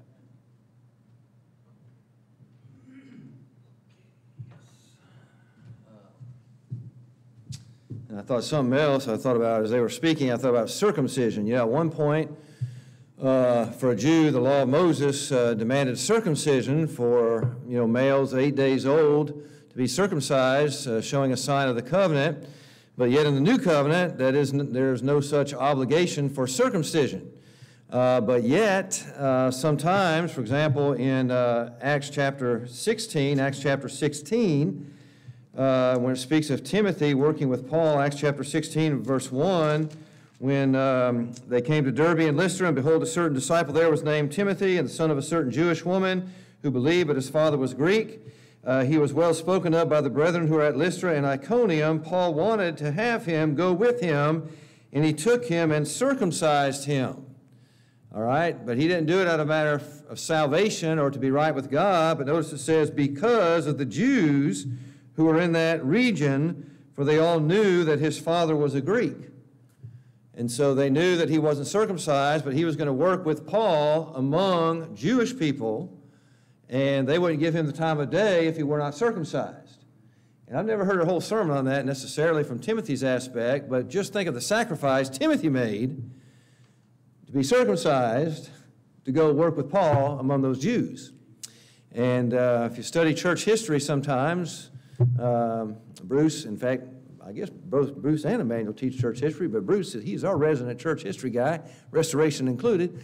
But, um, you know, some of those guys and uh, you know, some of those, we read in the book of Acts of those um, um, pious uh, Greeks that hung around the synagogues they were interested in the monotheism and all that that was taught there.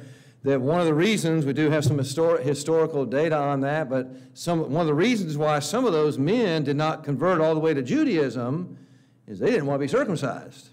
And they knew that was, that's what would, would have been required.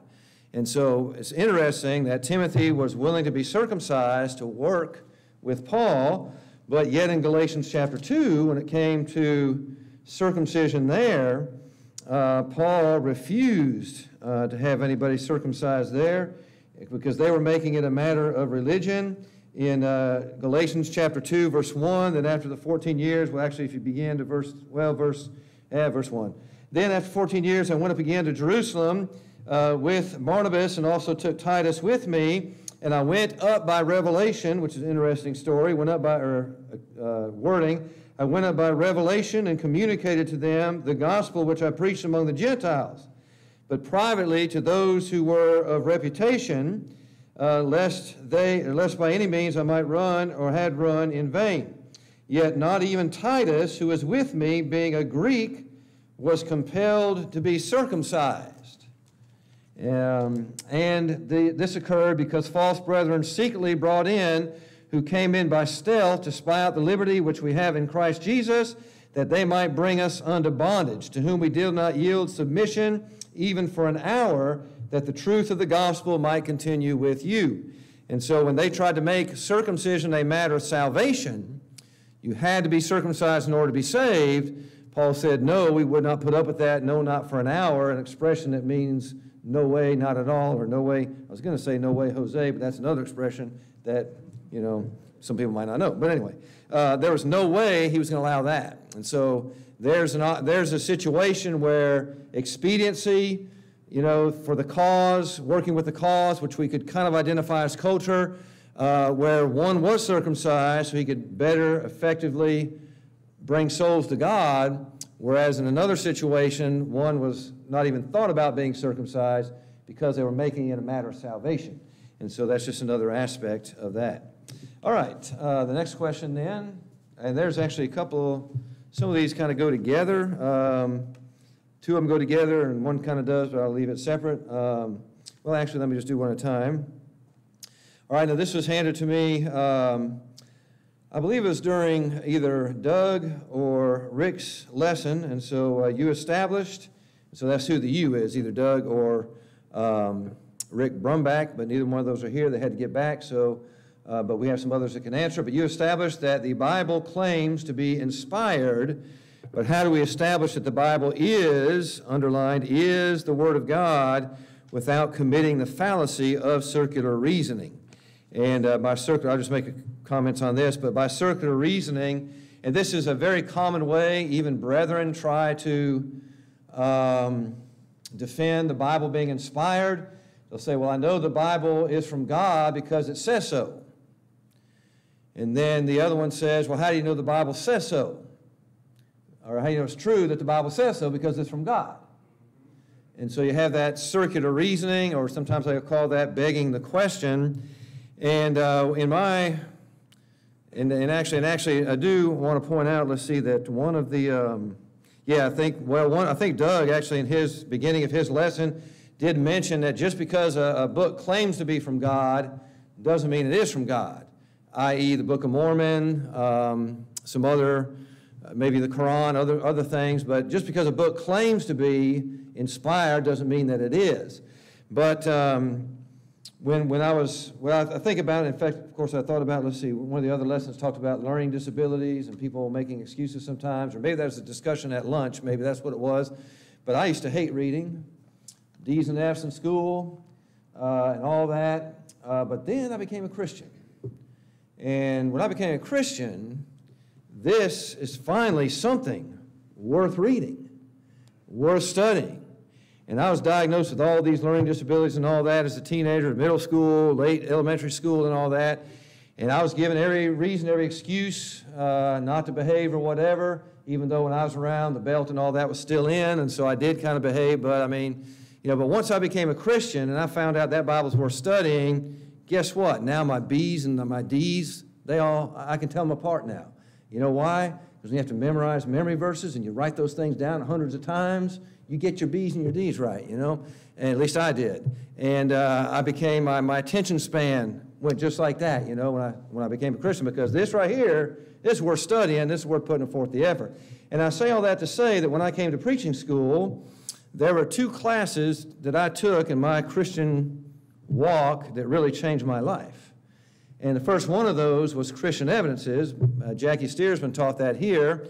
And the whole outline of his whole semester was if we can know truth, if we can know that God exists, if we can know that the Bible is the inspired Word of God, then we can know that Jesus Christ is the Son of God. And so that was one class. And another class when I went to Freed Hardeman, but no one here remembers that class. I don't know if Emmanuel, did you go to Freed Hardeman? I don't think you did, but you may have, okay. And this guy named Dr. Hollingsworth, you know, just like the lake over here. But he had this class that was in values, and he played devil's advocate and tried to get us to prove everything we believe, which was really good for me in the long run. But you guys don't know him, so you, anyway. But anyway, I say all that to say that if you say if God exists, and if the Bible is the inspired Word of God, there's no circular reasoning in that. And so you can prove, to answer the question, you prove God's existence, first of all, by, well, fancy word, a priori arguments, which means before well, anyway, like, yeah, the cosmological argument, you know, before, just that, or just a wording. Uh, and I learned it like this there's variations of it, but for every contingent effect, there must be an adequate, sufficient cause. All right? Contingent means if it's iffy, if it, if, it's, if it relies on something else for its existence, then it's contingent. And so someone says, well, where did that tree come from? You say, well, that tree came from a seed. That tree is contingent, its existence is contingent of a number of things, really, you know, air, water, and all that stuff, but it's contingent. Where did it come from? A seed. Yeah, seed. Where did that seed come from? Another tree. Yeah, you're right, a tree.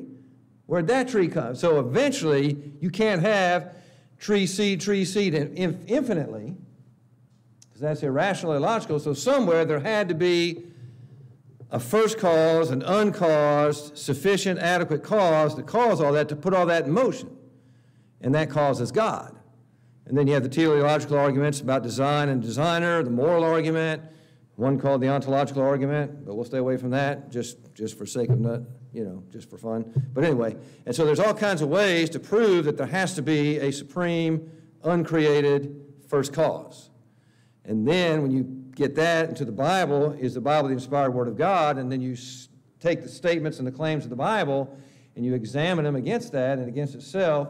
And, uh, and of course, to me, and of course, George will probably have some more to say on this, but to me, the, the most efficient characteristic of Scripture that, you know, that's the one I hone in on is prophecy made and fulfilled.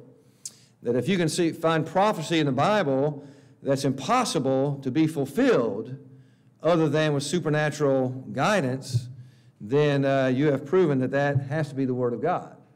And so that's just kind of briefly how I would, how I would address that. But we'll leave it open to either George or Forrest or Hiram or Joshua. And I'll just leave the question right there and then uh, for your evaluation.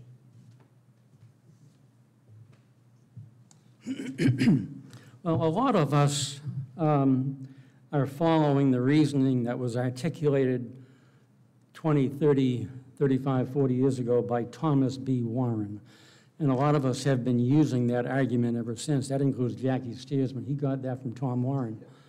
And uh, the argument uh, showing that, that the Bible is the Word of God, that is, the argument whose conclusion is that the Bible is the Word of God, that is non circular, is, as he expressed it, and I believe he's got it right, that if, uh, premise number one, if the Bible has property A and property B and property C, dot, dot, dot, and property N, comma, then the Bible is the Word of God. Now, can you, uh, is it the case that we can identify a um, conjunction, that is, a collection of properties that uh, imply that it must be the Word of God? I believe that, the, that we can. Premise number two, the Bible does have property A. Premise number three, that the Bible does have property B, property C, et cetera. Therefore, the Bible is the Word of God. Well, what are such properties? Well, one of them would be uh, the fulfillment of, uh, of prediction. Uh, there's quite a bit more to say there. Uh, whether or not that does the job, I believe it does. Um, and, um, and then uh, the unity of the Bible is another. Um, when you, when you consider the fact that, uh, that there is a, an identifiable uh, scar- beautiful scarlet thread, as it were, that weaves its way through the Old Testament scriptures into the New Testament scriptures. Uh, this would include predictions beyond human capacity to fulfill. Um, and uh, and this, these predictions in the unity evident in all of those passages that range way back from Genesis 3.15 all the way into the New Testament. These span about 1,500 years by about 40 different people contributing to these. And they are, um, uh, some of these folks uh, never met one another. There are hundreds of years in between these statements. And furthermore, there's geographical spread. Um, you put all that together, and uh, I believe that uh, there's no way to explain that except uh, such a theme running through the uh, scriptures, such a thread. No way to explain that except by appealing to an intelligence that exceeds the collective uh, intelligences of the uh, mere human writers. So uh, that would be an argument that is not circular.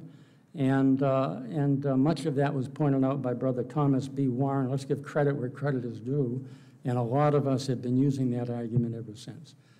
Now, with respect to, there is another matter I'd like to add about, the, in- with respect to the previous question, and that is uh, the principle found rather in uh, Romans chapter 14, verse 23, where, uh, where you're dealing with, uh, in this case, an optional matter, the idea of eating of meat. You can eat meat or not eat meat um, in a cultural setting and be right with God either way. That's taught in Romans 14 and other passages.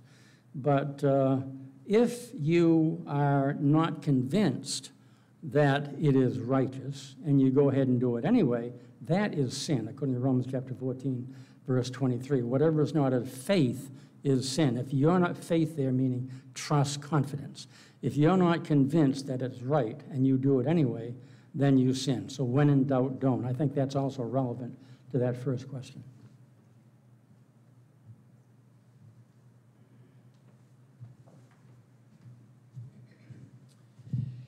And I would also like to, to piggyback on what he was saying there. Uh, Thought came to my mind, which was mentioned today earlier about the Bible being inspired and predictive prophecy. Uh, last semester, I taught Isaiah, Jeremiah, and uh, just think about Isaiah. He lived under the Assyrian period. He prophesied about Babylon and captivity and all that, and they also prophesied about the return, mentioning Cyrus by name at least twice. And Cyrus was 100, 120 or so years or more down the road. And uh, Medo Persia was just a little spot and wasn't even any kind of world power. And really, for that matter, Babylon wasn't a real big world power at the time when he prophesied about that. But one man, by God's inspiration, prophesied on down. And uh, that would be impossible if it weren't for supernatural guidance. Uh, and then Isaiah is one of the most attacked books. Isaiah and Daniel, I would say, the most attacked books by liberal critics trying to discount God. And you may have heard of Deutero Isaiah or tri, Trito or whatever you want to say. Uh, they try to make Isaiah written up in different authors because they recognize, these academia scholars, some of them, they recognize that, man, he's talking about stuff way outside of his ballpark. And so they try to make it a different Isaiah contemporary with that ballpark. But as was mentioned earlier with the Dead Sea Scrolls and all that, we, we discovered those in the 1940s. The first ones were began to be discovered, and they go back to about, I don't know, 100 BC, maybe something around in there, but around the turn of the first century, a little before. But, um, you know, they show Isaiah as one scroll. Furthermore, Jesus will quote different parts of Isaiah in the same discussion and just call it from Isaiah. And so they know that if they can, that if, we can show that there's only one Isaiah, even they, they know, I think, I'm convinced anyway, that there's, there's no explanation for that except the supernatural, except God inspired him, which of course we know he did. All right, appreciate those comments. Another one kind of related to it. Um, how can we know and trust the Bible today since we depend on translations? All right, that's a really good one. How can we know and trust the Bible today um, since we depend upon translations? All right, well, I'll say a little bit something about that maybe jog y'all's memory there, and then George can feel free to come up on this as well. Uh, I mentioned this also that before I came to preaching school, I just told the students this or somebody this not too long ago, just as an illustration, but before I came to preaching school, the reason what convinced me to be in preaching school is I lived in Louisiana, worked in the oil field, got hurt on the job, and I was, you know, uh, neighboring congregation. I lived in New Iberia, but between New Iberia and Morgan City, there was a little town there that had a congregation that the church there doesn't exist anymore. That congregation, because I met a guy in, in New Orleans at a lectureship right before the COVID shutdown. He told me all about it. I got notes on it somewhere, and I'll find it and let you know the exact city one day. But anyway, um, so I'm filling in preaching there mainly because no one else would do it. And that's really how I got started preaching. That's how I got started song leading and everything because no one else would do it. And they say, Will you do it? I was like, Yeah, okay. And I'm thinking, about you bunch of wimps, can't you get up and serve the Lord? And so I do my best and, you know, and that kind of thing. But that's how I got started. So I was filling in there for a couple, couple Sundays, preached my John 3.16 sermon, preached another sermon, and my, my tank was out of gas. And I knew I needed to come to preaching school. And that's what convinced me. I need to go to preaching school. And so I went shortly after that. But I say all that to say that even in those days, and this is why I was telling the students about it, even in those days, before I even came to preaching school, I realized that if I knew that original language and I knew about more about the historical setting of these books of the Bible, man, I would be so far ahead of the game. Uh, and so that is really what translations of at least the first part of that. And when I came to preaching school, man, I, I said, You were right, Brian, that's right you were right. And I, and I am, I still am. The more you know about the original language, the more you know about, the historical setting of the Bible and the books that were written, the better you are in understanding it, the better we are in studying it, and the better we can comprehend and understand it. And so the translation part is right there. We need to realize, in fact, that's what Doug was talking about, and I took his book back. But uh, that little book, and we'll have a lesson. David Steersman was here earlier, and he's going to give a tremendous lesson based on the chapter of the book on uh, canonicity, which books belong in the Bible, and a great lesson in that. And all these lessons, especially today and some of these other ones, Steve, Steve Atnett will talk about translations, I believe, tomorrow, tomorrow morning, I believe it is. Um, but behind the translation, there is an original language.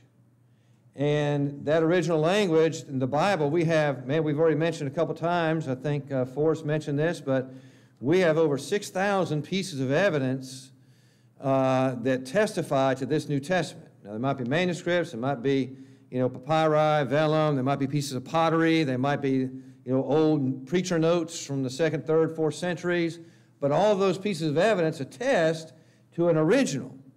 Uh, and those are called, we often call those the autographs.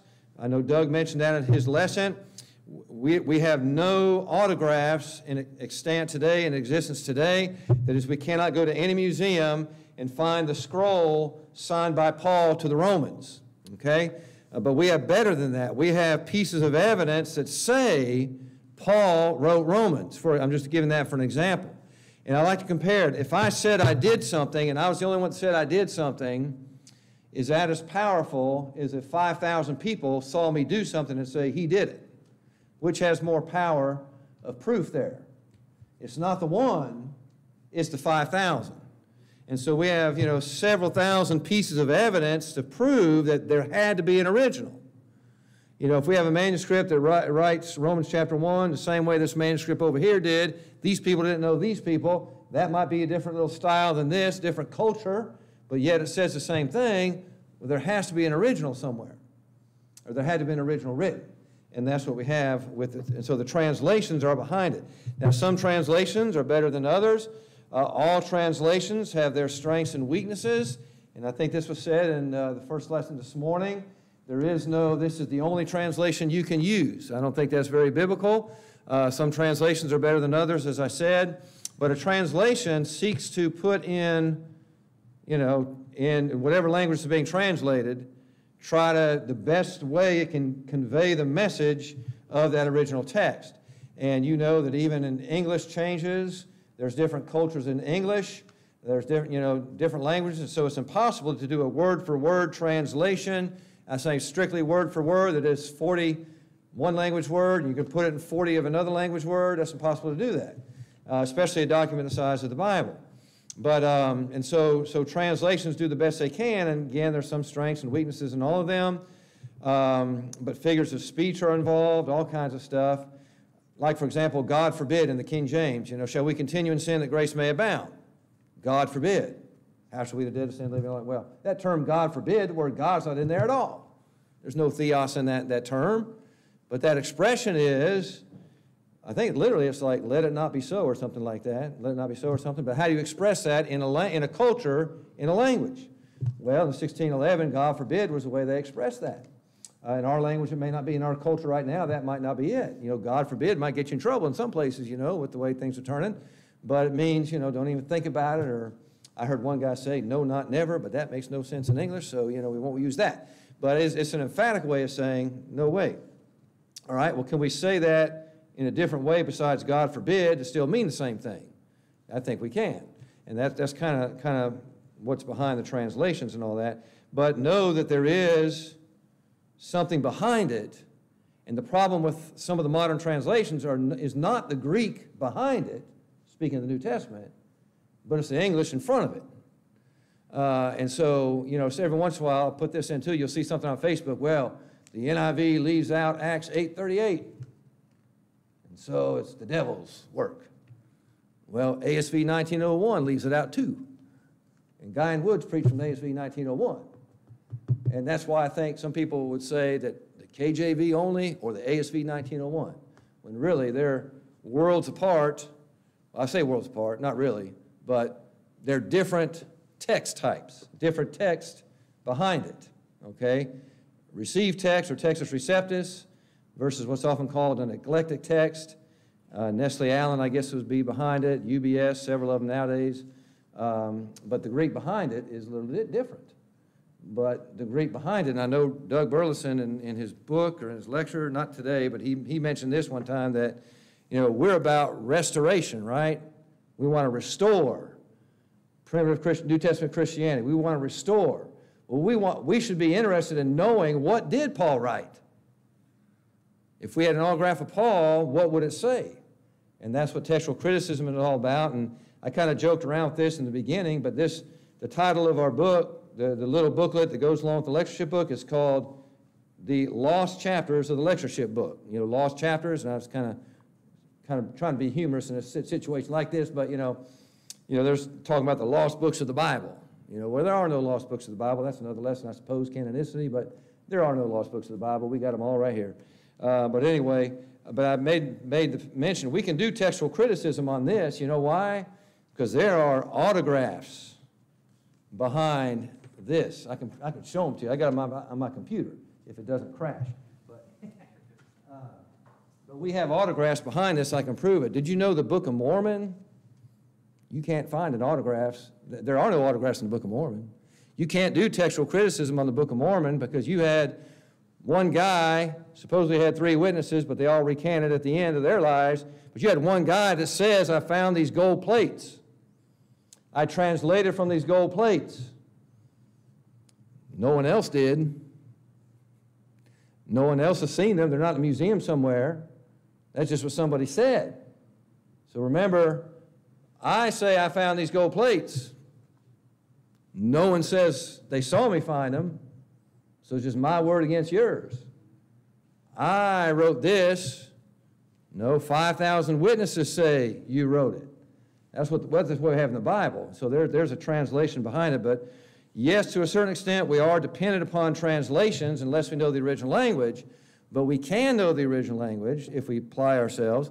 We can study, um, well, yeah, we can study some stuff. I was going to say textual criticism and all that. That's a big fancy word. But all textual criticism does is seek to determine as best we can what is the original. And uh, it's also been mentioned several times that you know, there's not a single, and a textual, well, I'll say a textual variant is where you have a different manuscripts read differently, and there's no denying that.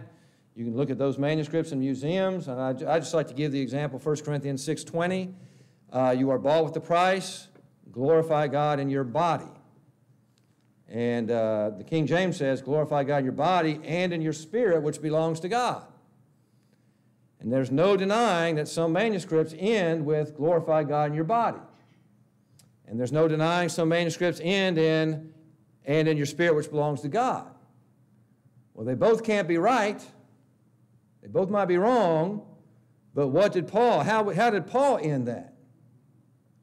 Now, shouldn't we be about the business of trying to seek what did Paul, in that restoration, what did Paul write? And so there's various things we, or scholars or whatever, textual critics use to try to determine best they can which would have been original. One of which is if it really ended, if it ended in and in your spirit, which are God's, why would anybody erase it? But if it ended in glorify God in your body, why would somebody want to add it? And on that particular one, I believe, of course, I, I check on this, but um, the conclusion is somebody would be more likely to add it than to erase it because much of these manuscripts, especially at certain times, the ones that King James were translated from, they were mostly done by Roman Catholics. And they believed in the body, the flesh, all flesh is evil, only spirit is good. Kind of Gnostics believe that as well, and even people believe that today. Uh, and so to them, it'd be impossible to glorify God in your body because it's evil, flesh. And so it'd be more likely that they, they would have added that. And then uh, the other thing, you know, which the manuscripts that are closer to the original, they usually carry more weight, kind of like the telephone game. I think somebody mentioned that this morning. If I had to whisper here in Forestry or something and it got all the way around, by the time it got to me back again, it might be a little different than when it started. Well, which is more likely to be more accurate? The closer to me going this way or later on down? And so, you know, by comparison, you know, some, you know, like the KJV, for example, would have been manuscripts. I believe, uh, just read this recently, maybe the nine, eight or nine hundreds AD would be the earliest ones that King James had, and they only had about 25 of them. Uh, but in the late 1800s, several were discovered that go way back to second and third centuries, closer to the original. And so, uh, but again, even with all of that, the ASV 1901 and KJV are, I think I heard someone say 97 point whatever the same. And there's not a single variant in any of that that's a doctrinal thing. Someone says, oh, well, Mark 16, 9 through 16, or whatever. Well, all those verses are taught elsewhere in the scriptures as well. I mean, you know, we don't have to rely upon that for baptism. We got Acts 2.38, we got Romans 6, 3 and 4, and other places like that. But um, anyway, I'm kind of getting a little bit off on that. But, you know, we, we do depend on translations if we don't know the language, but we do realize that there is an original language behind it that we can know, we can study, we can know the manuscripts, we can see them in museums if we want to, we can know a lot of these things uh, if we want to. Um, and I think it's good to compare translations. All right, but let me see. I've probably gone far enough on that. Go, go ahead, Hiram. Uh, and I'll leave the question right up here. Say two.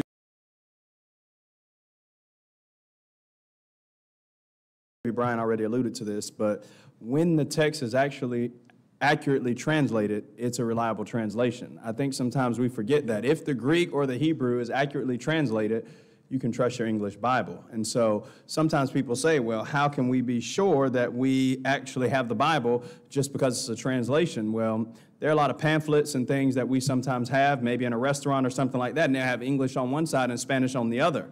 The Spanish isn't necessarily inferior, actually accurately translate material. And as proof of that, I would just cite that the Old Testament is written in Hebrew largely. You've got parts of Esther and Daniel in Aramaic.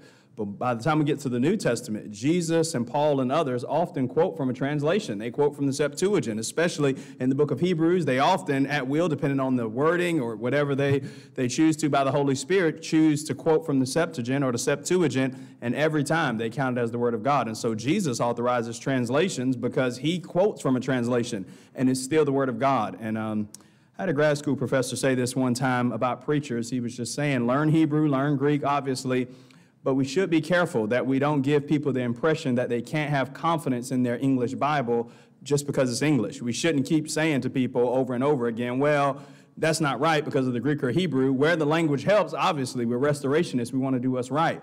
But where the English Bible is accurately and faithfully translated, it is the Word of God. And so we're not at a disadvantage or it's not inferior to the Greek It's to the degree that it's accurately translated, it's still the truth. And that's what I think helps buttress the truth of the Word of God that God has allowed it to be faithfully preserved and it can be accurately translated. And everybody doesn't necessarily have to learn Greek to go to heaven, right? That would be difficult. But God, in His faithfulness, has seen fit that there are trained individuals in linguistics that can do that. But hey, you can get it in English and you can get it in Spanish or Russian, and you can still know Acts 2:38 and everything else that the apostles taught and make it from earth to heaven. So don't lose faith or confidence in the translation that you have. Just be sure to get one that's faithful to the text. Learn Greek and Hebrew, obviously, if you can. But if you have an English translation, you can read and study it to much profit to the glory of God, and it still is the Word of God.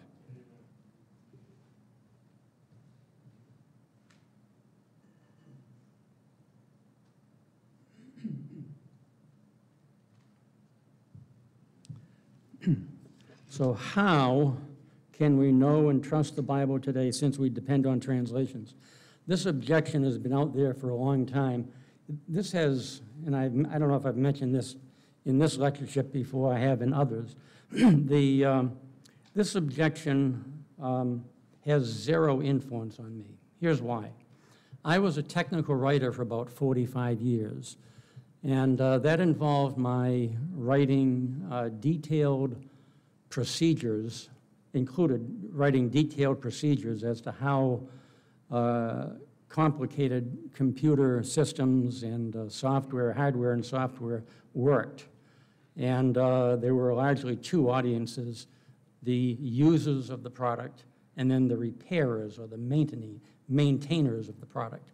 And uh, just give you an example, uh, I wrote several documents that uh, in this particular country that had, uh, a company rather, that had uh, several European offices, uh, Italy, France, Germany, Sweden, as I recall, and, if, and uh, maybe one or two others.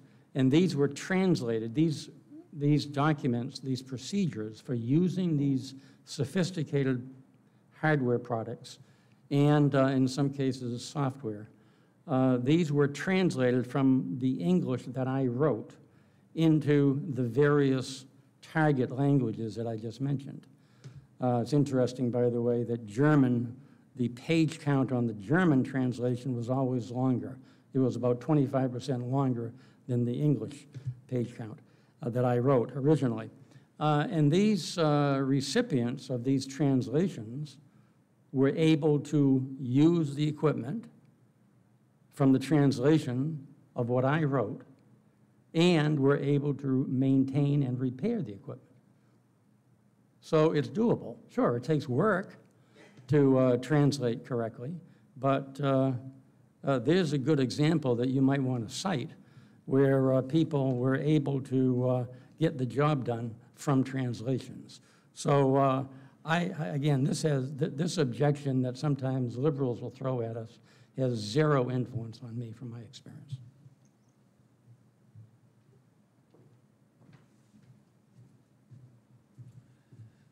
All right, and uh, well, let me just say a couple things. Well, just one, just uh, an example of how translations can be messed up is we were in Africa doing some work. And I don't know if that's a trip you were on, Hiram, or not, but at the end of, uh, we spent a week in this one village here teaching with Bob Bauer and his crew. And um, the very last day, we found out that the local translation actually translated baptism with putting water on your head. And so it's like, whoa. And we didn't have a whole lot of baptisms that trip. Couldn't figure out why, but that might have been one of the reasons. Because, you know, putting water on your head is not the same thing as scriptural baptism, but that's how they translated it. And so I would kind of add the major translations, okay? you know, uh, like the King James, New King James, ESV, ASV, New American Standard, those major translations, right on. And then also the World, New World Translation put out by the Jehovah's Witnesses. I've seen this evolving in just in my lifetime. Makes it sound like I'm an old guy, but anyway. You know, used to say Colossians 1.15, uh, you know, Christ made, uh, let's see, how's it go? Oh, someone refresh my memory. How's it go? Colossians 1.15.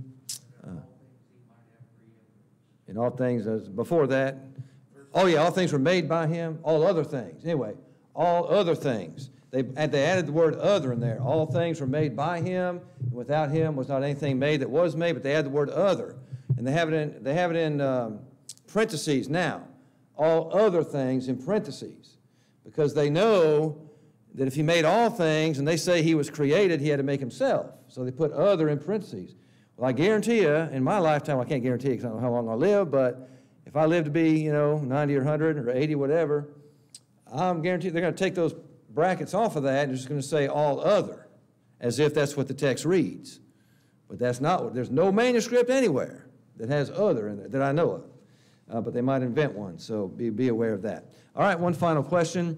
And also, Guy N. Woods, if you have his, if you have his commentary on 1 John, 1 John in the Gospel Advocate series, uh, 1 John 5, verses 7 and 8, where it talks about the Trinity or whatever, or the, mm, well, yeah, 7 and 8 or 17 and 18, but 1 John 5, 7 and 8.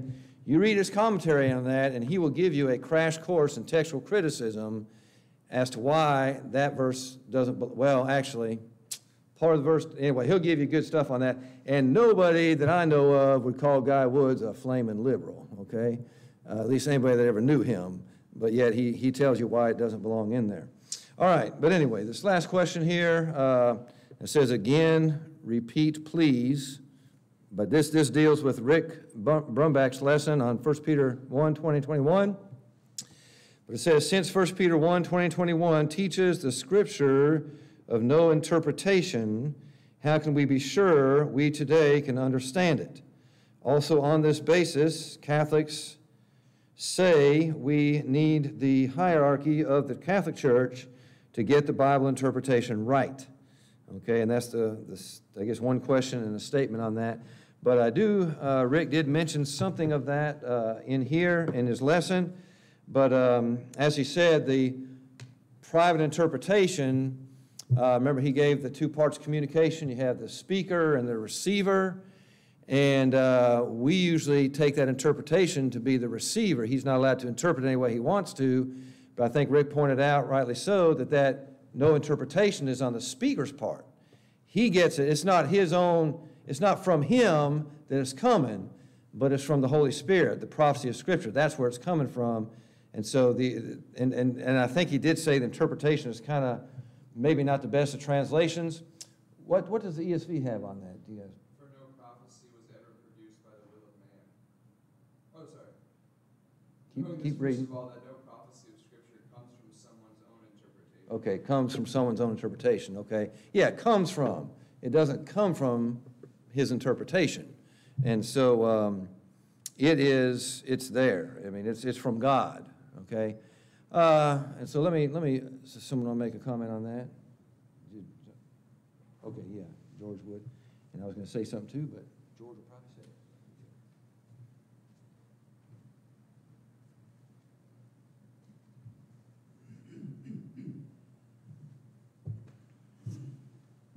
Turn in your Bibles, if you would, to John chapter 4. John chapter 4. And notice, I'm reading from the New King James here. Notice the, um, this is the situation where we have the woman at the well. As you recall, Jesus uh, met this woman at the well. And uh, let's see, it talks about a woman of Samaria, verse 7 came to draw water. Jesus said to her, Give me a drink. No, no, for his disciples had gone away into the city to buy food. Notice that. A woman of Samaria, verse 7 of John 4, came to draw water. Jesus said to her, Give me a drink. Now, why did he ask her to give him a drink? Verse 8 For his disciples had gone away into the city to buy food. So as, uh, as, as, was pointed out in that good lesson uh, by, what's his first name? Uh, Rick. Rick, Brother Rick. Um, the word for here in the original is G-A-R in the Greek, gar, which introduces an explanation of what was just said. So verse 8 in John 4 is an explanation of verse 7. You have that, by the way, in John 3.16. John 3.16, when we hear people say, uh, I may have somebody, uh, Wayne, John 3.16, for God so loved the world. ga- Would you quote that for us? Can you? Oh, so you're gonna try. Try it, try it. For God so loved the world. Okay, now- gave his only begotten. Right, so notice how a lot of us quote that. For God so loved the world. You, you hardly hear the word for. I advise us to say, for God so loved the world that he gave his only begotten Son. Verse 16 is an explanation of verses 15 and preceding. And verses 15 and preceding refer back to the Old Testament scriptures, account back there, where you have an obedient faith demonstrated. And so it's an obedient faith that's in mind, an obedient belief. And then verse, uh, then you have verse 16, for God so loved the world that he gave his only begotten son, or only unique son, his, his unique son, we can talk about that, uh, that um, those who believe in him should not perish, but have everlasting life. Belief, have faith in him. That's an obedient faith, as demonstrated by the fact that verse 16 of John 3 is an explanation of a preceding passage, reference back to the Old Testament, which is talking about an obedient faith. Okay. So keep that in mind. For, John 3.16, is an explanation for God so loved the world that he gave his only begotten Son. Same thing here, John 4, uh, verse 8. For, F-O-R, gar, and introducing an explanation of what was just said. All right, now go over to that passage. 2 Peter 1, 20, 21. 2 Peter chapter 1, 20 to 21. Knowing this first, that no prophecy of Scripture is of any private interpretation.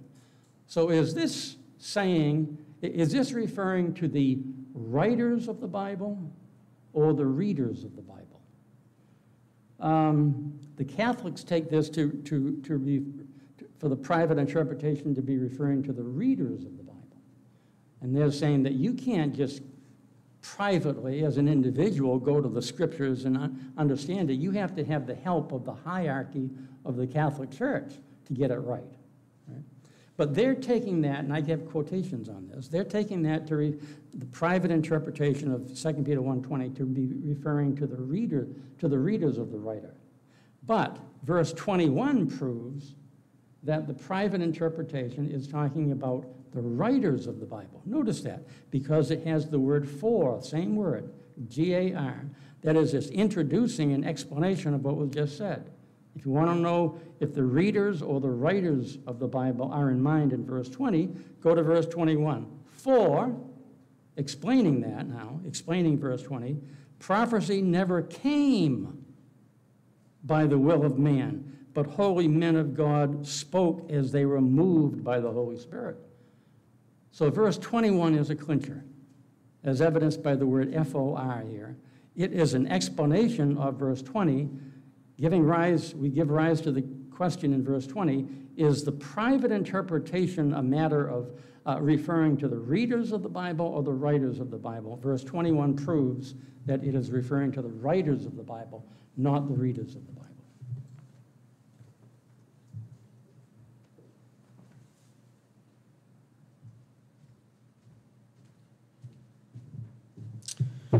Excellent, very good. And I always saw that verse 21, not by, but by. Not by the will of man, but by the Holy Ghost. Good stuff. Man, so glad to have George in our back pocket over here. no, no, but uh, good to have him here. All right, um, that, yeah, that's all the questions we have, right about good timing there. Uh, Want to remind us of the program tonight at 6:30. Actually, 6:25, well, 6:30 we'll begin congregational singing. Yeah, we'll do it at 6:30 tonight, but we might have to make it a little bit earlier. But why I say that is if uh, some of the young fellows, if they want to get us warmed up uh, by leading a song up here, they can do that. Um, And so definitely, uh, if these three here want to, they got first dibs because they're here during the question and answer period, okay? But anyway, uh, we'll have a congregational singing at 6:30 tonight.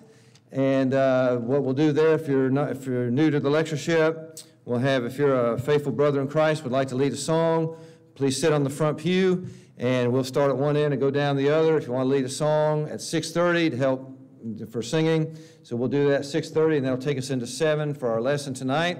Two lessons tonight. Uh, looking at the wrong day here, but that's okay. Uh, tonight we have at 7 o'clock. Yeah, the 7 o'clock period all across the board on the lectureship. Uh, BC Carr set that up a long time ago when he, we started the lectureship, I believe in 1975. This is our 46th annual. I'm not good at math, so you can figure that out, but I believe it's 1975 or 76 maybe, we started the lectureship. And he always left that 7 o'clock spot, the first evening session, for a uh, either graduate or alumnus of the School of Preaching. And so all the way across the board, that's what we'll have at 7 p.m. Tonight is Vince Doherty, and uh, this lectureship, all the lessons at 7 will be coming out of Psalm 119, largest chapter in the Bible, uh, kind of the middle chapter in the Bible, really. I think, well, anyway, I think so, but actually, my middle chapter was Second Chronicle something, but that's just me, you know. all right, in my, my large print Bible. But anyway, uh, all the way across the board. Now, Jeff Jenkins uh, will not be here. Uh, he actually uh, contacted me last night, well, late yesterday afternoon, right before I called Bruce Doherty right there, who's going to fill in that slot. He's going to speak on the same subject, uh, cheerful words, John 16, 33. And I thought it'd be pretty cool to have Vince and Bruce back to back. Uh, a couple years ago, we had Emmanuel in on it. We called it the three Ds right there, three daughters. And uh, we had them speak on our VBS program, did a great job. And I'm sure Brother Emmanuel, he's still up to that. If, so if you want a good VBS, get those three guys right there, 3D. Uh, but Bruce will fill in for uh, Jeff tonight. Uh, Jeff hadn't been, well, he actually called me a couple days ago, so I got Bruce on, the, on standby a couple days ago. He wasn't feeling well, but he wasn't sure it was a COVID or not, but he was going to wait a couple days to see how he felt. But he since got tested, and people around him got tested, and so for sure, one of his close, close associates uh, was tested positive, so he's going to stay home. We're glad of that. Uh, we hope if he does have COVID, his symptoms remain kind of mild, but uh, he won't be here this time, and so Bruce will fill in him for tonight. And uh, yours truly will be there tomorrow. Uh, that would be me at 1050, the Word of God under fire. Uh, and so that's one change we'll have for the lectureship. There'll be some others that I'll announce as we go along. But we'd invite you back tonight. Uh, great lessons, always good. Just kick it off at the 6:30 singing, and so we'll have those lessons tonight, and we look forward to that. Also, uh, Sister Flo Duffy, uh, her husband and I started preaching school in 1989 at the same time, and her husband was on the five-year plan. Eddie Duffy. Well, I don't think anybody in here knew him. Okay, Bruce. All right. You're like me, old timers, okay? But anyway, but uh, Eddie was a good man. Uh, in fact, he was the first real personal worker. I could say that when I think of Ed, Ed, Duffy, I think of a personal worker. He was always teaching people the Bible, uh, baptized several people. Some of those uh, turned out to be preachers. Uh, and so he did a really good work, but he was on the five year plan. I was on the two year plan when I came, and so I graduated before him. But we were good friends for many years. He passed away in 2002. Uh, Flo is kind of our adopted grandmother. Uh, she doesn't do diapers, and that's okay. We have no diapers anymore anyway. But uh, she's close to the family. But her brother or brother-in-law died uh, yesterday, I believe it was, or this morning. Passed away. She wants us to remember uh, her and her family in prayer. And she was just out there visiting them over the uh, Christmas holidays, and so we're going to include her in a prayer here in just a moment. But we'd ask you again, invite you back tonight. And also, if you can help us defray the cost of the lectureship, uh, even though it's during the COVID crisis and you know, our numbers may not be as much as they are at other years, and our traveling expenses won't be as much for sure, but we still have expenses. We still need your help. If you can help defray the cost, we would much appreciate it. You can give us donations. We've also opened it up online as well, that you can, because uh, a lot of people won't be here, but they'll be listening online. So if you'd like to donate uh, to help us, through PayPal or through uh, a debit card or something, we'd much appreciate that. All right, we're going to close with a brief word of prayer. Uh, also, I do want to remember, uh, do, do want to mention, in fact, all three of these guys were on standby, still are, I guess. And Hiram and Joshua for sure are going to preach extra lessons during this lectureship. And Joshua uh, he's got his preaching shoes on, and he's going to preach again Thursday night, uh, where Melvin Otey usually closes us out, and Joshua's going to preach that for us. So we're going to keep him in mind. Of course, Hiram will have his same spot before that, so we'll have double the action. Uh, Forrest is on standby, but we think his guy on standby is going to be here, so uh, we'll have to get him too next year. But you know, we'll, we'll we appreciate him being on standby anyway. All right, so uh, let's close with the prayer. Uh, be back at 6:30 for the congregational singing, 7 o'clock for the well, we'll try to do announcements a little bit before seven, but give our speakers time. But we'll start the evening program officially at seven, and uh, congregational singing at six thirty. Let us go to God in prayer. Our Father in heaven, we love you. We thank you so much for Jesus.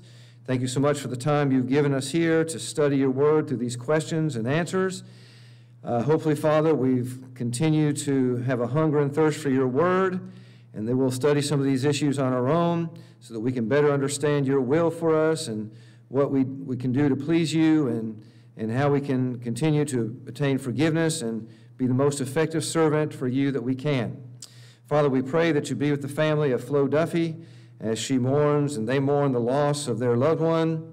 Pray that you will comfort them and point them to you, that as they take comfort in the scriptures and as we, as your, as your, your family, as your brother, as your as your church, as we encourage one another, that we will point people to the hope that lies in your Son, Jesus Christ, and your will for us through him. We pray that you be with us now as we depart, as we take a break uh, from the lectureship, that you'll keep us safe, and that you'll continue to keep us safe throughout this lectureship. We thank you, Father, for so many brethren who have expressed their interest and their prayers. And we thank you so much for the opportunity we have to have this study together these four days. In Jesus' name we pray. Amen.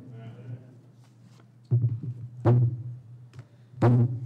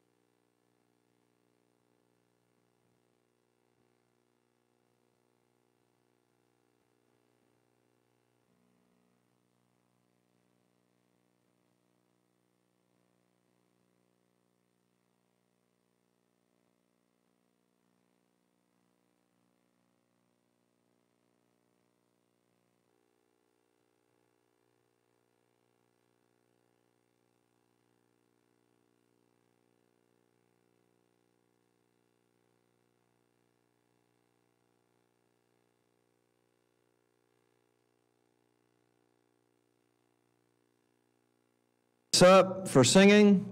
Uh, you can come up here. I know Ellis is probably going to be in on that. I don't know if KJ's into that kind of stuff. Andre might be. I don't know. But if you want to come to the front, sit down up front, and uh, we will start with that. And then, uh, if you would like to lead a song, Richard is going to start us off. And so, if you'd like to sit uh, on that pew there first, and then you can fill up this pew on both sides of the tripod, but don't knock that tripod around.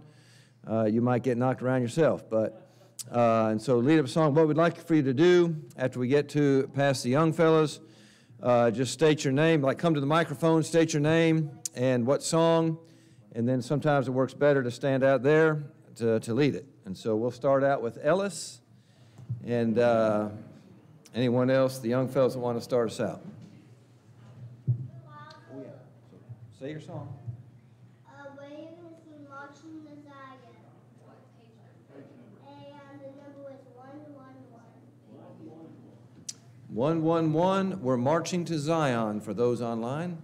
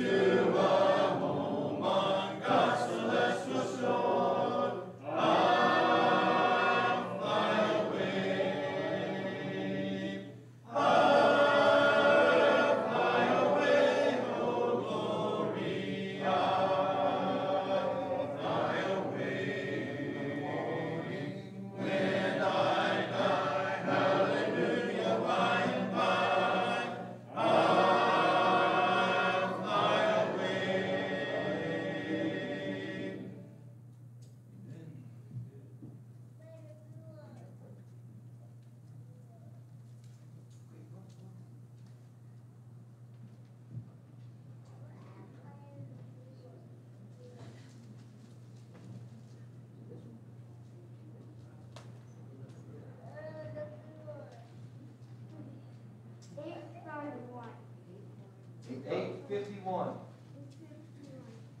Blue skies and rainbows.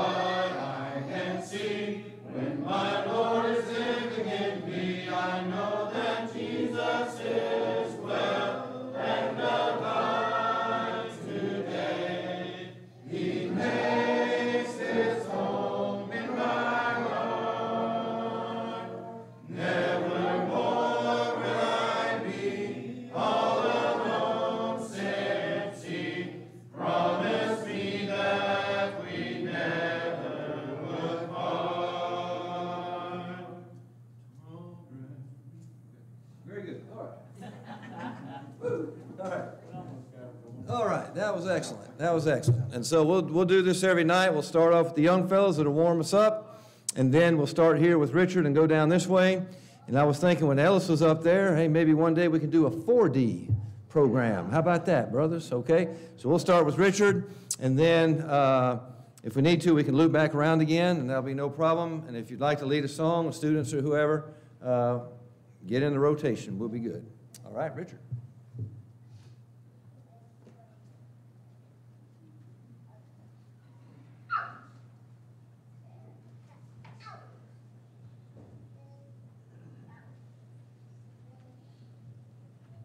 number 833. 833.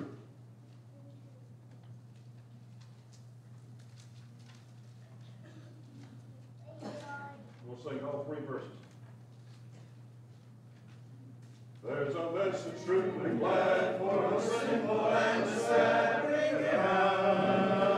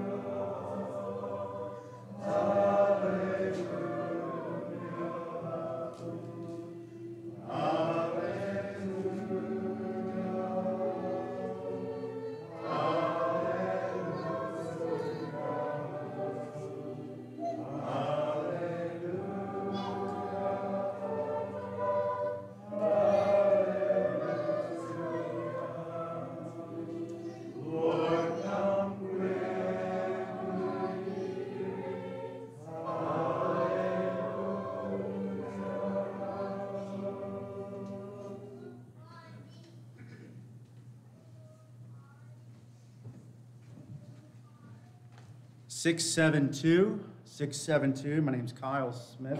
I attend the Arm Street congregation. 672.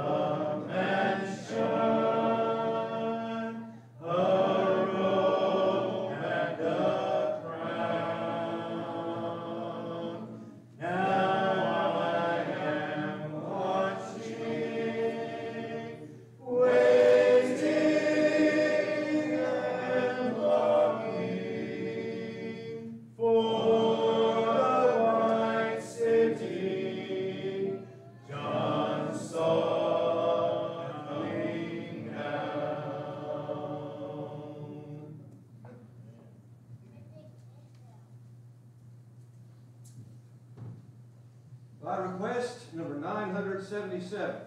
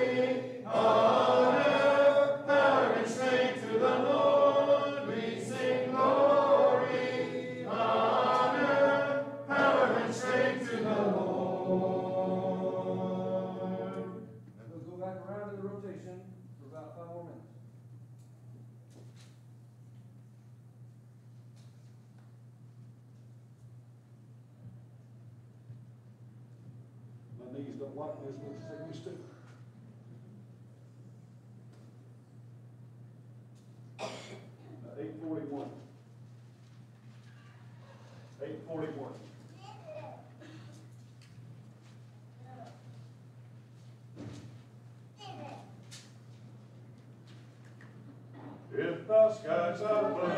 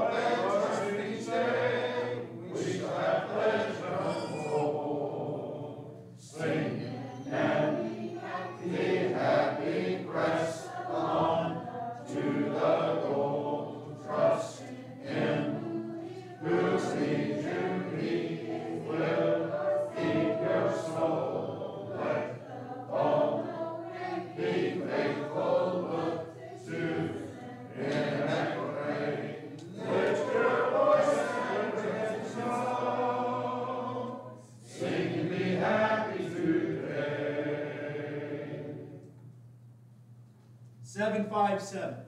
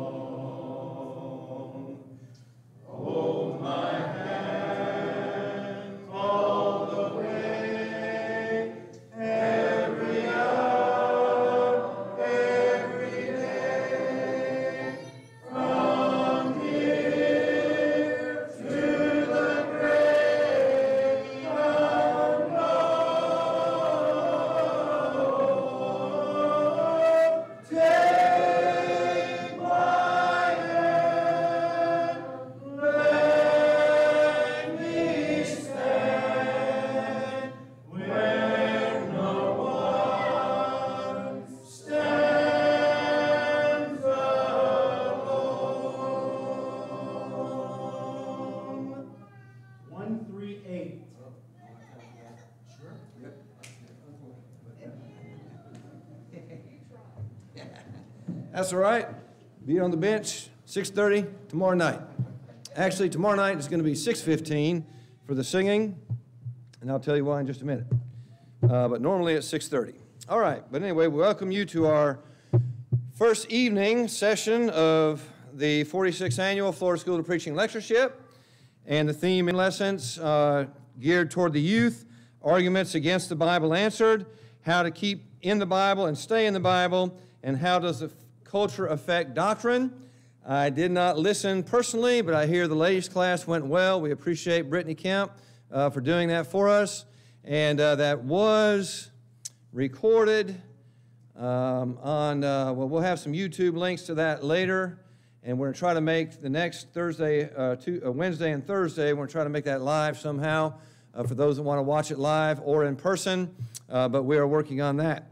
And uh, we do have a way, we just didn't think about it then. At least I don't think we thought about it then, but we'll see about the next one. But we appreciate all those who've been here and have traveled, and appreciate our speakers and those tonight who participated in the congregational singing. Tonight we have a great program lined up. Uh, we're first going to start out with, in just a moment, I guess I'll introduce the, the speakers in just a moment. But uh, let me just say a little bit about the program uh, tonight, and then we'll have an opening prayer. Brother Alfred Woodard will lead us in that prayer. He's a 2005 graduate of Florida School of Preaching, and he is, and actually, he uh, when he was going to school, he actually commuted from um, Deltona uh, every day, and uh, so that's uh, that was a sacrifice. Uh, he's around here somewhere. He's going to lead prayer. Yeah, that was a sacrifice, and he is encouraged because if he can do it, other people can do it as well. And I've mentioned him to others who had to drive in, and so he's going to lead us in a prayer. He is currently preaching in De DeQuincy, Louisiana, and uh, so we he will lead us in an opening prayer. But I just want to mention before he does that that uh, I mentioned this earlier, but as preachers, we know that when we prepare a sermon, it doesn't matter if there's one person that shows up or 300 people that show up. We're still going to put the same preparation into it, hopefully, that we would otherwise anyway.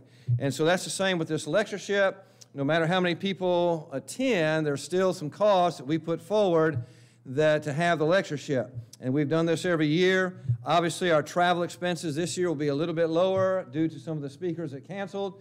In fact, tonight's speaker uh, was originally scheduled for Jeff Jenkins, but Bruce Doherty will fill in for him, preaching on the same subject. And that is pretty awesome because his son is preaching right before him. And uh, we couldn't get Emmanuel in, but Emmanuel will lead us in our closing prayer tonight at the end of services. So we'll have sort of a 3D. Those of us at South Florida Avenue remember when they did our VBS about three years ago, four years ago maybe, and we had a great time with that and learned a lot of Bible uh, at the same time. But if you're going to help to defray our expenses. We'd appreciate that. We do have online options now that you can give online, uh, but every year our lectureship guests have seen the value of this lectureship and they have supported it, and we have broken even or maybe just a little above most years that I can think of, and that's a signal to turn this on. And of course, if you're relying on me, uh, well, I think I'm pushing the right button. Oh, there it is. Um, I might miss it, so thanks for the reminder. But anyway, if you could help us defray cost, uh, we'd much appreciate that. We do not charge any kind of tuition or any kind of registration fee. Uh, it's our gift to the Brotherhood, but if you can help us out with that, we much appreciate it. And so, um, and also giving online. All right, before I introduce our speakers, um, well, let me introduce Vince first, but we're going to ask Al to lead us in a prayer right after I introduce him. And so, right after Amen, uh, Vince will be our speaker. He currently serves as the associate minister here. Uh, in fact, him and Hiram basically, well, well, if it weren't for COVID, they'd preach about the same amount of time here, with uh, Hiram traveling a lot. But you know that hadn't been the case lately. But he does preach at least once or twice a month. Does a great job with our young people, and uh, he uh, is also a graduate of the Florida School of Preaching, 2019, right or 18, 18, 19. 19, okay, 2019 graduate of the Florida School of Preaching.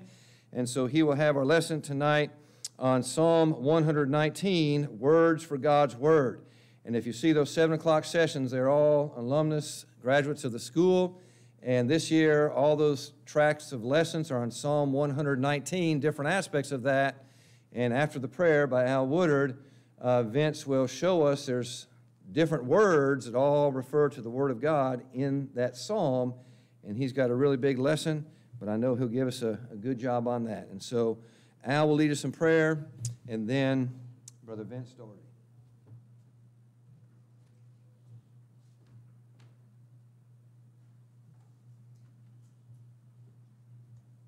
Let us pray. Our great and glorious God, we are so grateful for all the things you have bestowed upon us, Father. Father, we appreciate the opportunity we have to come and study your word and listen to these lectures concerning your word and your inspiration. Father, we know that you are an awesome and powerful God and that you are a loving God and that not only did you love us so much that you gave your Son for us, you gave us your word so that we could know how to live pleasing to you and that one day we can have a home with you. Father, we pray for those who are ill and we pray for those who may be suffering from various diseases, including this COVID. We pray for the maladies that are suffering within our government, the things that are going on in this land and in this world. Father, all these things serve to remind us that we live in a lost and dying world, and the only thing that can cure that cancer is your word. Father, we pray that we will be able to use the things we learned this week and that we remind us and recharge us to go forth and be soldiers in your kingdom and to preach your word and spread your gospel, to show people the need that they have to be saved, that this life is temporary eternity is forever, and a home with you is the most precious thing that we can gain. Father, we thank you for the school here. It has done many good works over the last 40 plus years, I think 50 years. Father, we thank you for those who continue to serve it. We thank you for Brian and his family, the leadership that they bestow as director, the instructors who take their time to help students grow, and Ted and the board that continues to serve. Father, we personally are grateful for the opportunity we've had to come and study your word at this school. We thank you, Father, for the providence you had in delivering it to us and to those future generations that can study here. Father, we pray that this school will long serve your kingdom. We pray, Father, that the people who speak this week will be watched over by you and that these messages will be of your word, and we know that they will, for they come from your word. Father, you are a great and glorious God, and we thank you, Lord, for everything that you do for us. We thank you especially for that word that we know is through your inspiration, that the writers get, get wrote it out of your will, giving us your will. Forgive us, Father, for our wrongdoings and watch over and care for us and remind us to always be of a humble and repentative nature and a servant of yours. May we one day hear that great sound of your words saying, Welcome, thou good and faithful servant. Father, we pray that we, as we go through this night, we will remember that we are your servants. In Christ's holy name we do pray. Amen.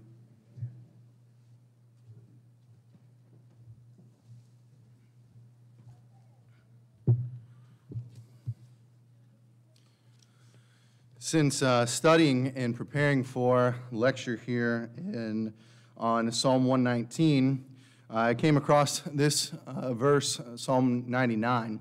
And Psalm 19, 119, verse 99 says, I have more understanding than all of my teachers, for I meditate on your statutes. Who knew that you could skip out on two years of hard work at the Florida School of Preaching? Just, uh, just study for Psalm 119.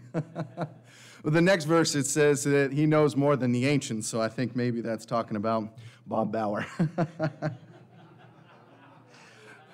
just kidding, just kidding, all, all in good fun. The topic I want to uh, introduce tonight is Psalm 119, and I want to give a overview uh, style of the psalm, and I want to give you uh, uh, this psalm by emphasizing the words and the different Hebrew words that are used when uh, the psalmist writes this psalm. The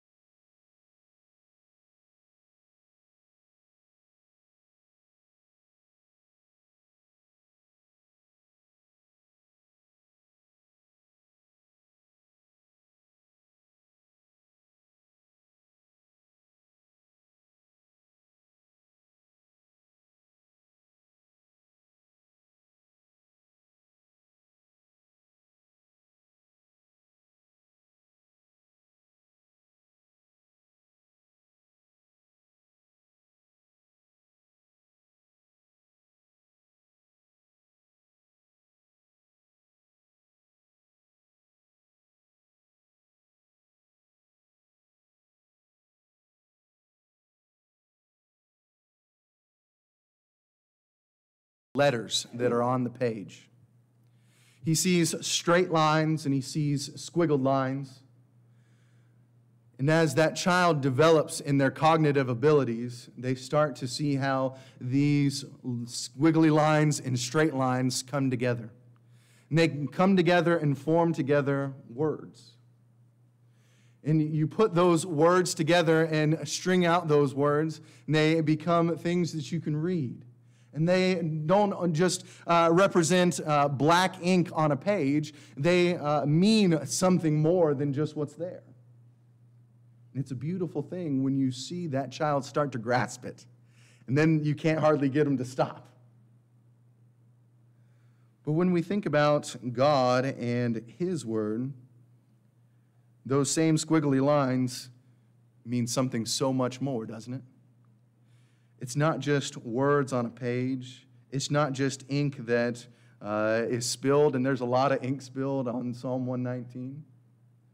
It becomes something more than that. In a sense, those lines and squiggles are taken by the Holy Spirit who move holy men of God, and he, they speak God's word. And they write down God's word. You can read and you can study and look to try to uh, apply Psalm 119, and it's not an easy task. It's kind of an enigma in and of itself. It's like the miniature book of Psalms in and of itself. It's like the miniature Bible in and of itself. But when you look at Psalm and Psalm, Psalm 119 with the rest of Scripture, it's not like any other book you've ever read. It's not one where you pick up, you read through it once, and you consume it, and you go away. The Word is a lifetime of study that you keep going back and you keep ruminating, you keep meditating, you keep ingesting it. And what happens when you keep coming back to it and you keep coming back to it? you start to pick it up and you start to see it in different lights. It becomes this jewel. It becomes this diamond, this multifaceted diamond that you hold in your hand. And if you look at it in one way and in one light, you can see some beauty there. But if you can pick it up and rotate it just a little bit, and you see a little bit more. You rotate it just a little bit more and you see a little bit more. You rotate it a little bit more and again and again and again and again. That's what Psalm 119 is all about. This guy picks up the Word of God and he sees all the greatness of who he is, what he has done, what he's promised in his Word. And he keeps rotating it just a little bit more. He looks at applying it just a little bit more. And he is in awe of who God is. And so he just keeps writing. He keeps writing and praising and praising and writing and praising and writing and praising and writing. He gets to the end, and look at the very last verse. Look at the very last verse. He says, uh, I'm, I'm like a sheep who's gone astray. He says, Seek me, for I do not forget your commandments. It doesn't read any different than any other line. It just seems like the next line, and he's going to write again. He's at Tau. He's at the end of the letters that he knows. There's no more Hebrew letters. I, am sure if there were more Hebrew letters, he would have kept writing. What does that tell you about God's word? It's beyond the comprehension of our language. I could do it in Hebrew. You could do it in Greek. You could do it in English and start at A and go all the way through you're not going to exhaust it. And that's the realization that he found in God's Word. It's interesting that various faithful men of God are told to ingest scrolls from time to time. By ingesting those scrolls and consuming those words, the Bible is trying to show us that it will, in turn, sustain us. Jesus says that man shall not live by bread alone, but by every word that proceeds out of the mouth of God. Matthew 4 and verse number 4. One preacher said he often gets appeals from relief organizations with pictures of starving children from poverty stricken areas around the world. And it's sad when we think about how much food that is in this world that could feed them. But if God were to take a snapshot of our nutrition, would he see bellies that are sunken and gaunt in a spiritual sense? Mm, Seeing people that fail to ingest the life giving word that is in them. There should never be a lack of spiritual nutrition. We live in a place that everybody has a Bible. He says that if there is spiritual malnourishment, the problem is motivation. The psalmists, from time to time, try to help with that motivation. In Psalm 34, in verse number 8, the psalmist says, Oh, taste and see that the Lord is good. Try it, you'll like it. In Psalm 119, verse 103, the psalmist says, How sweet are your words to my taste, sweeter than honey to my mouth.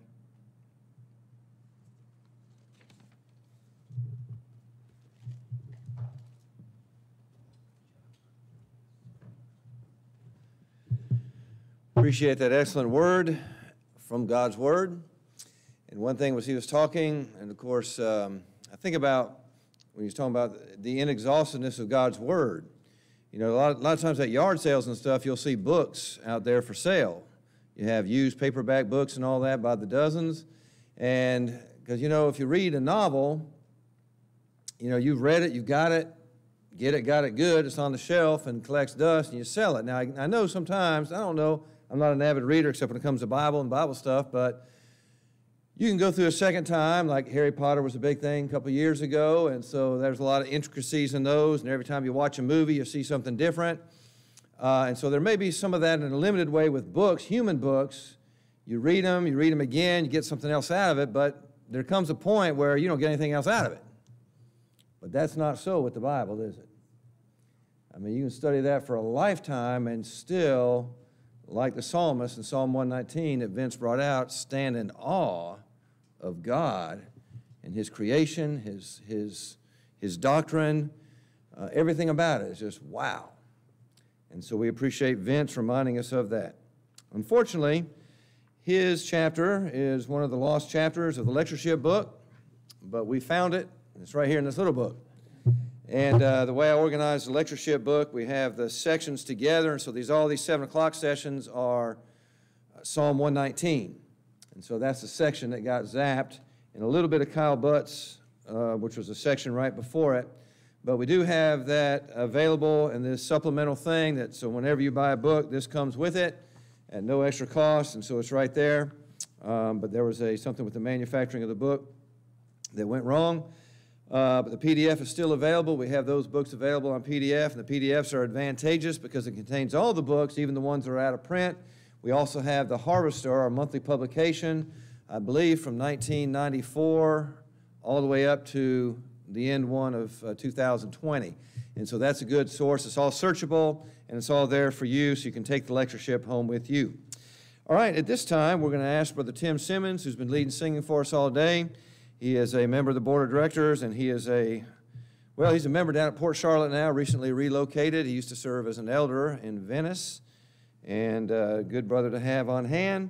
And so he will lead us in a song. If you'd like to stand for the singing of this song, please do so. Then I'll. Two, three for the invitation song.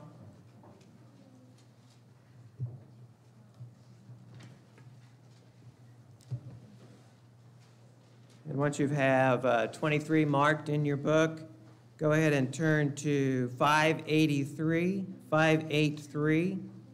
Sing to me of heaven. 583.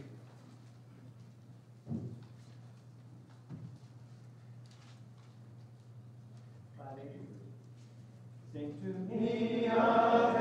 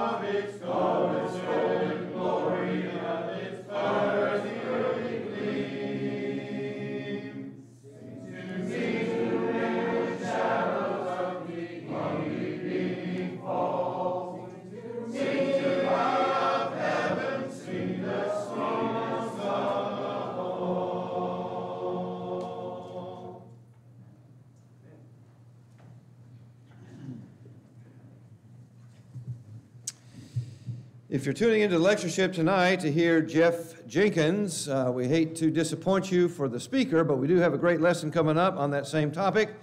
Uh, Jeff notified me a couple days ago that he wasn't feeling well, didn't think it was COVID, but he didn't want to take any chances. So he's going to play it by ear for a couple days, and then he texted me or contacted me last night, uh, late afternoon, uh, saying that he got tested, but his, I don't think his results have come back yet. But one of his close associates that he inter, inter, interacts with every day did test positive, and so uh, he decided to stay back, and we're glad of that. And so, but uh, that's just the nature of what's going on this year with the lectureship. But uh, we're thankful to have Bruce Daugherty with us. And uh, we, uh, every local church and you know spiritual-minded organization would do well to have a brother like Bruce on hand. And so I saw Vince right there, and I thought, well, how great that would be to have Bruce, his dad, speak right after him. And so I uh, actually gave gave him a heads up a couple days ago, and then called him up last last yesterday afternoon for sure to say, "You're on, my brother," and he's got his preaching shoes on, so he's going to preach tonight. And he's also going to fill in uh, Thursday at 2 p.m., destroyed for a lack of knowledge. But we'll have more to say about that as we go on. Did I say Tuesday? Thursday is what I meant to say. Thursday at 2 p.m., but I'll say something about that later. But uh, Bruce uh, preached at Beville Road Church of Christ in Daytona Beach for 10 years. Then he went to Ohio for 10 years. And then he came back, and he's been back about five or six. 10. Wow. Time flies when you're having fun, and let me tell you, I'm having all kinds of fun, and time is really flying. But so he's been back 10 years, so he's got the three decades right there. But he's a great guy. I knew him before he went to Ohio, taught at the school then, came back after 10 years and teaches at the school now. He'll be teaching uh, restoration history this semester. He and his dad both are very active teaching uh, Bible class for West Virginia School of Preaching online. And actually, Vince and Bruce also have a podcast uh, about church history, and it's, it's, it's in the, well, actually, yeah, he's one of the missing links, actually, the missing chapters. But I forget the name of that. What's the name of that again? It's about church history. The persistence of Christian memory. The persistence of Christian memory. And so look for that podcast. We shared on the SFA uh, page, and there's other places where you can get a hold of that, and it's very good, very interesting, very timely. But Bruce is going to deliver some message, and you'll see the 740 uh, comforting, cheerful words. And these are basically verses in the New Testament that emphasize something about the Word of God. And so the cheerful word is what we have tonight. And Bruce uh, is going to give us that lesson. And so let's give us, let, let us give him our attention tonight, Brother Bruce.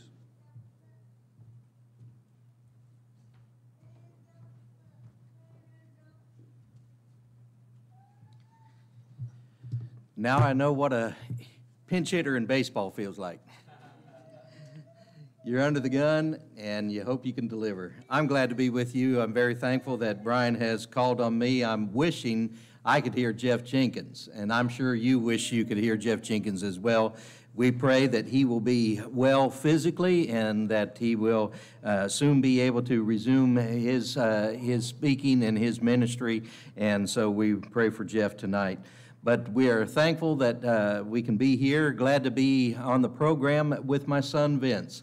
Uh, it's a good thing. Uh, Brian mentioned just before that we have the podcast that we've started. I didn't even know what a podcast was till Vince said, let's do one.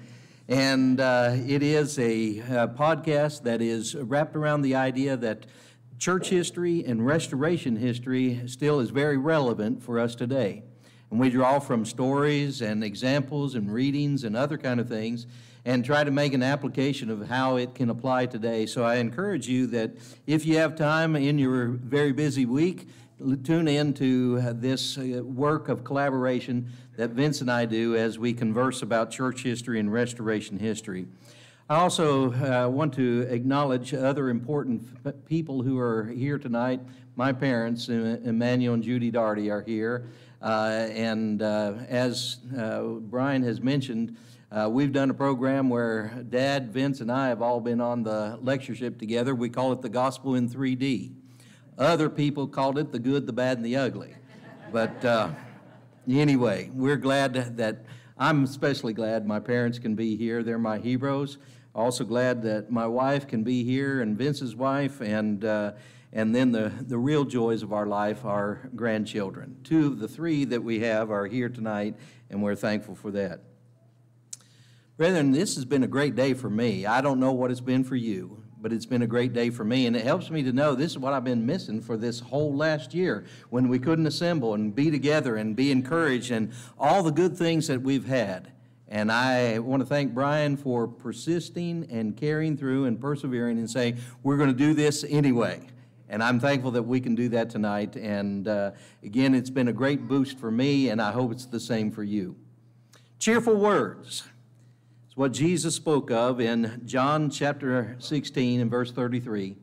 Jesus had been sharing with his disciples, and Jesus told them, These things that I have spoken to you, so that in me you might have peace. In the world you will have tribulation, but be of good cheer, for I have overcome the world.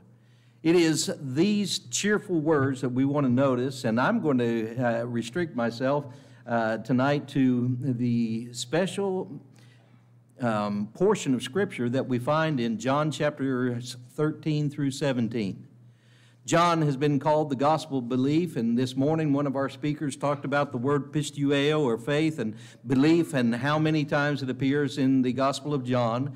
And in chapters 1 through 12 of John, there is the book of signs, as uh, these signs are written so that you might believe.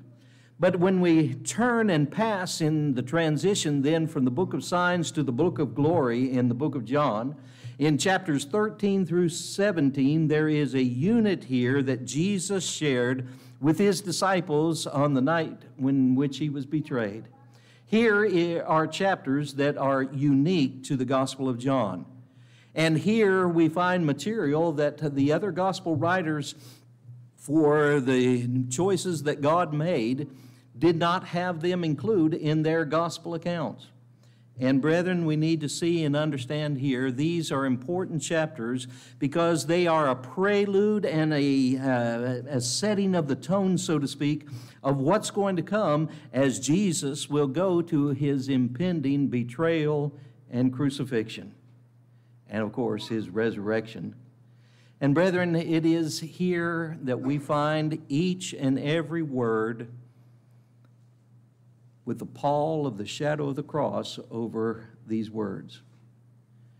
And so we want to look at this tonight, and even though the shadow of the cross lingers and hovers and colors every part of this, it is the shadow of the cross that helps us to understand the words of good cheer that Jesus wanted us to know.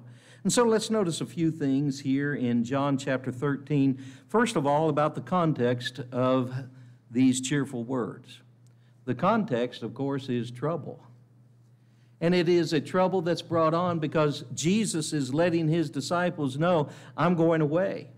The Bible says here in John chapter 13 and verse 1 Now before the feast of the Passover, when Jesus knew that his hour had come, and again, when you study in the earlier chapters of John, you find that little word, the hour, the hour. And Jesus, uh, throughout that time, the Bible says his hour had not come. And Jesus himself says, Mine hour has not yet come. But now the hour is here.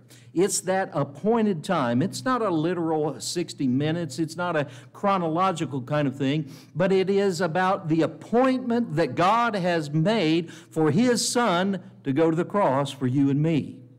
And so the hour has come. But Jesus, knowing that he would depart from this world, having loved his own who were in the world, he loved them to the end. And so Jesus is telling his disciples of his departure. Do you like to say goodbye? I don't. I have one son who lives up in Chicago, and every time we would have to say goodbye when we were at Grandma and Grandpa's, he would run and hide. He didn't want to have to do that. I've got a little grandson, he's the same way now when his dojo leaves. Brethren, Jesus was saying goodbye. And this caused a context of trouble for his disciples.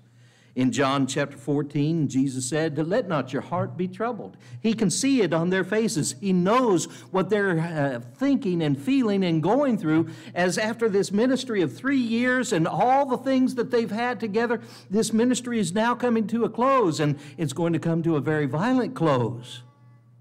And their hearts are troubled. Let not your hearts be troubled. You believe in God? Believe also in me, Jesus says.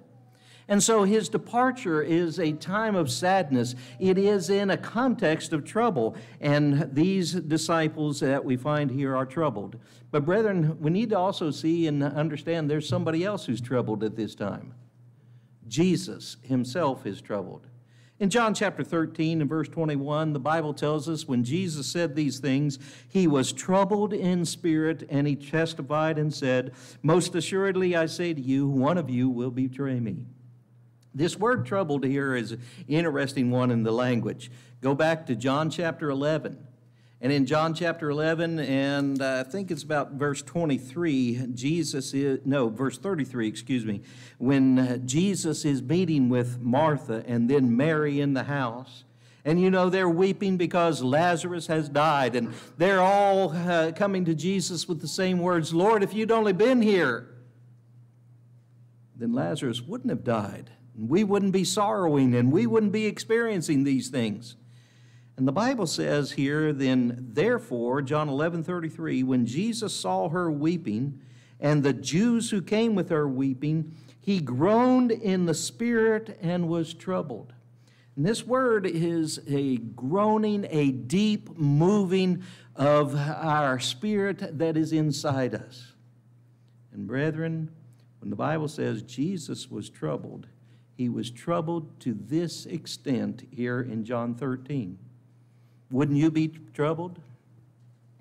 If a person closest to you for all those years is now going to betray you and hand you over to your enemies?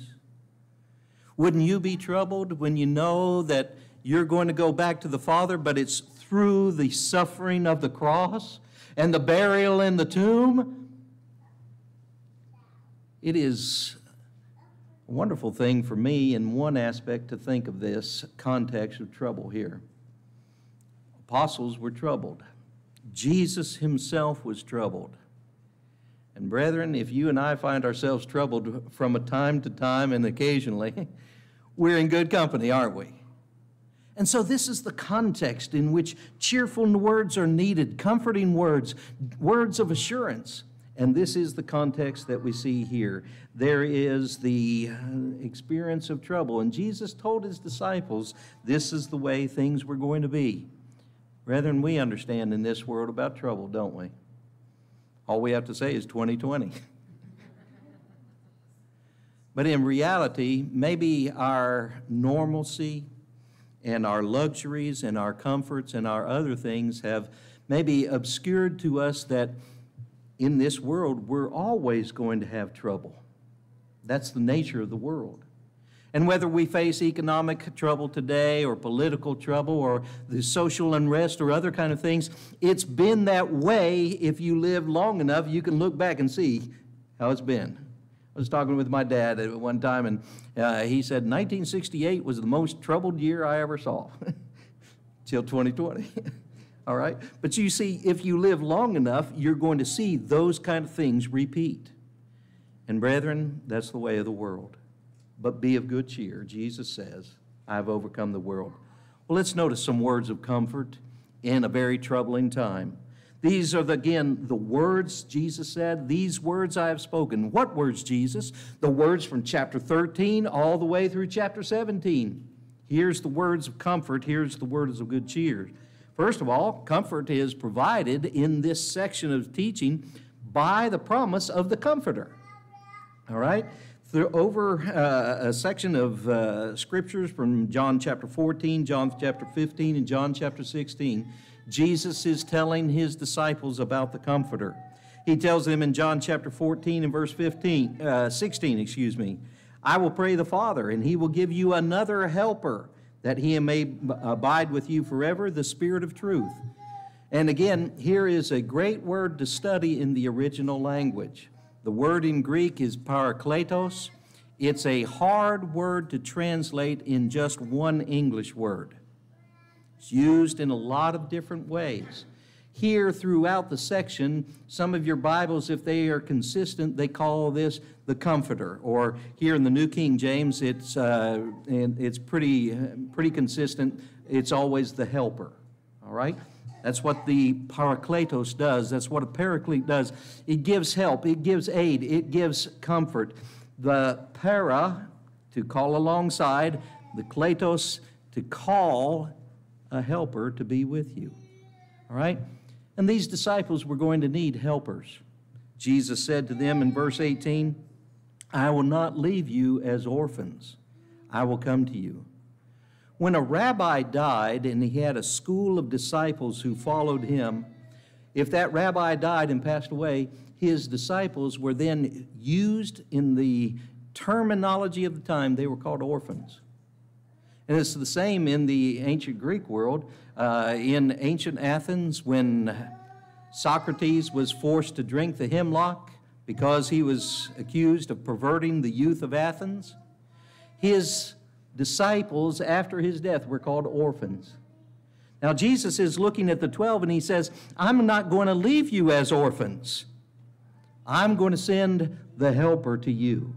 And so this helper is promised in verse 26 of John 14. The helper, the Holy Spirit, whom the Father will send in my name. He will teach you all things and bring a remembrance, uh, remembrance of me uh, and what I said to you. In chapter 15, uh, Jesus tells them uh, again, uh, about the Comforter in verse 26, uh, verse 26. But when the Helper comes, whom I shall send to you from the Father, the Spirit of truth who proceeds from me, he will testify of me.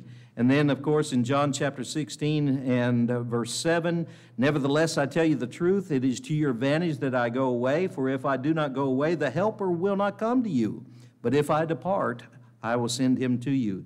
And then verse 13, however, when he, the Spirit of truth, has come, he will guide you into all truth, for he will not speak on his own, but whatever he hears, he will speak, and he will tell you the, the things to come. The promise of the Comforter here is uh, an important promise so that the disciples would not be left as orphans. And brethren, again, we need to understand here this is some very specific language directed toward the apostles. We are not to take these words out of context and say, the Holy Spirit's going to guide me into all truth. The Holy Spirit has already done that. And we have His Word here. This is what this lectureship is about all this week the God breathed Word. And so here is the Comforter giving words of comfort to God's people in every age.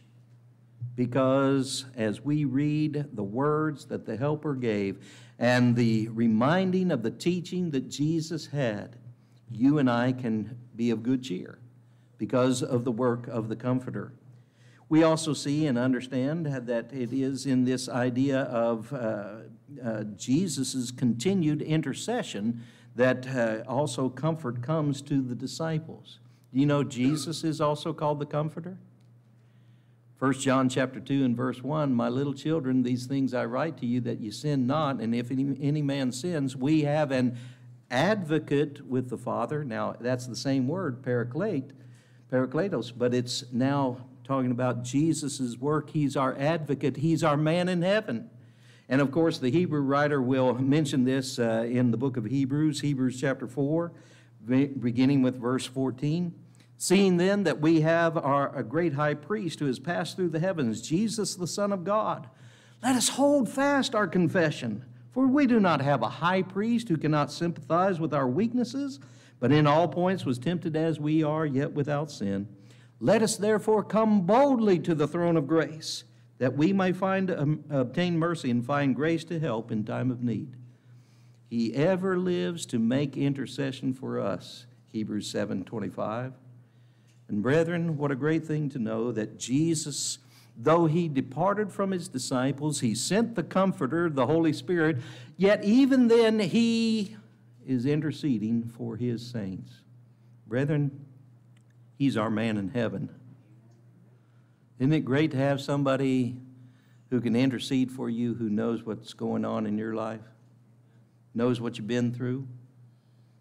When Jesus walked through this world and he's hungry and he's thirsty, when he suffers rejection from family and friends, when he's finally taken and crucified and going through all that physical pain there, he's our man in heaven because he knows what we, you and I go through. And so we have comfort in Jesus' continued inter, intercession.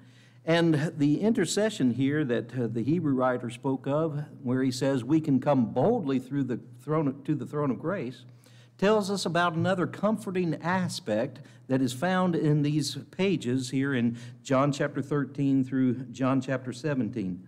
And it is in the form of intercessory prayer that Jesus makes for you and me. You know, he's our man in heaven interceding. He ever lives to make intercession for the saints. Well, what kind of intercession is that like?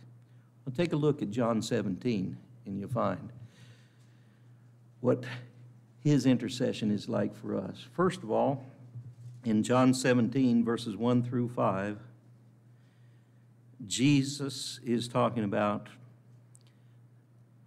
for himself. The hour has come Father, glorify your Son, so that the Son may also glorify you. This is eternal life, that they may know you, the only true God, and Jesus Christ, whom you've sent. In these, the first section of the prayer, Jesus prays for himself. Brethren, it's not wrong to pray for ourselves sometimes.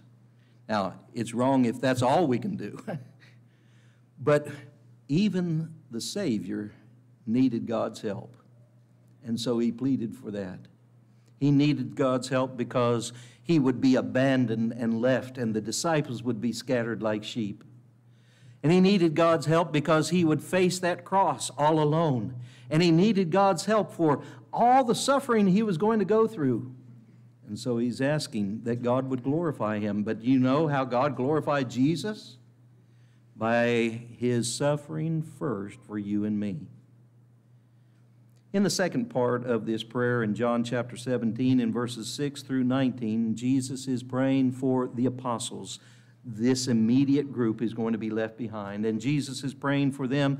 And he says that uh, I'm not praying that they would be taken out of the world. You know, when we face trouble and we go through a lot of different difficult times, when our first reactions is, I got to get away from this. Let me get to the mountaintop. Let me get to the seaside. Let me be out of this overwhelming bit of trouble. Jesus says that's not our option or choice, is it? Jesus instead says, uh, I do not pray that you would take them out of the world, but that you would keep them from the evil one. Jesus is praying for the protection of the apostles and that they would fulfill his message. But you know, the most comforting words that I find in this prayer are found in verses 20 and 21. And here Jesus is praying for the people who would believe through the testimony of the apostles. I do not pray for these alone, but also for those who will believe in me through their word. Brethren, can you see this? the night in which Jesus will be betrayed, the night in which Jesus are, is sharing these words, in the shadow of the cross, Jesus was thinking about you and me.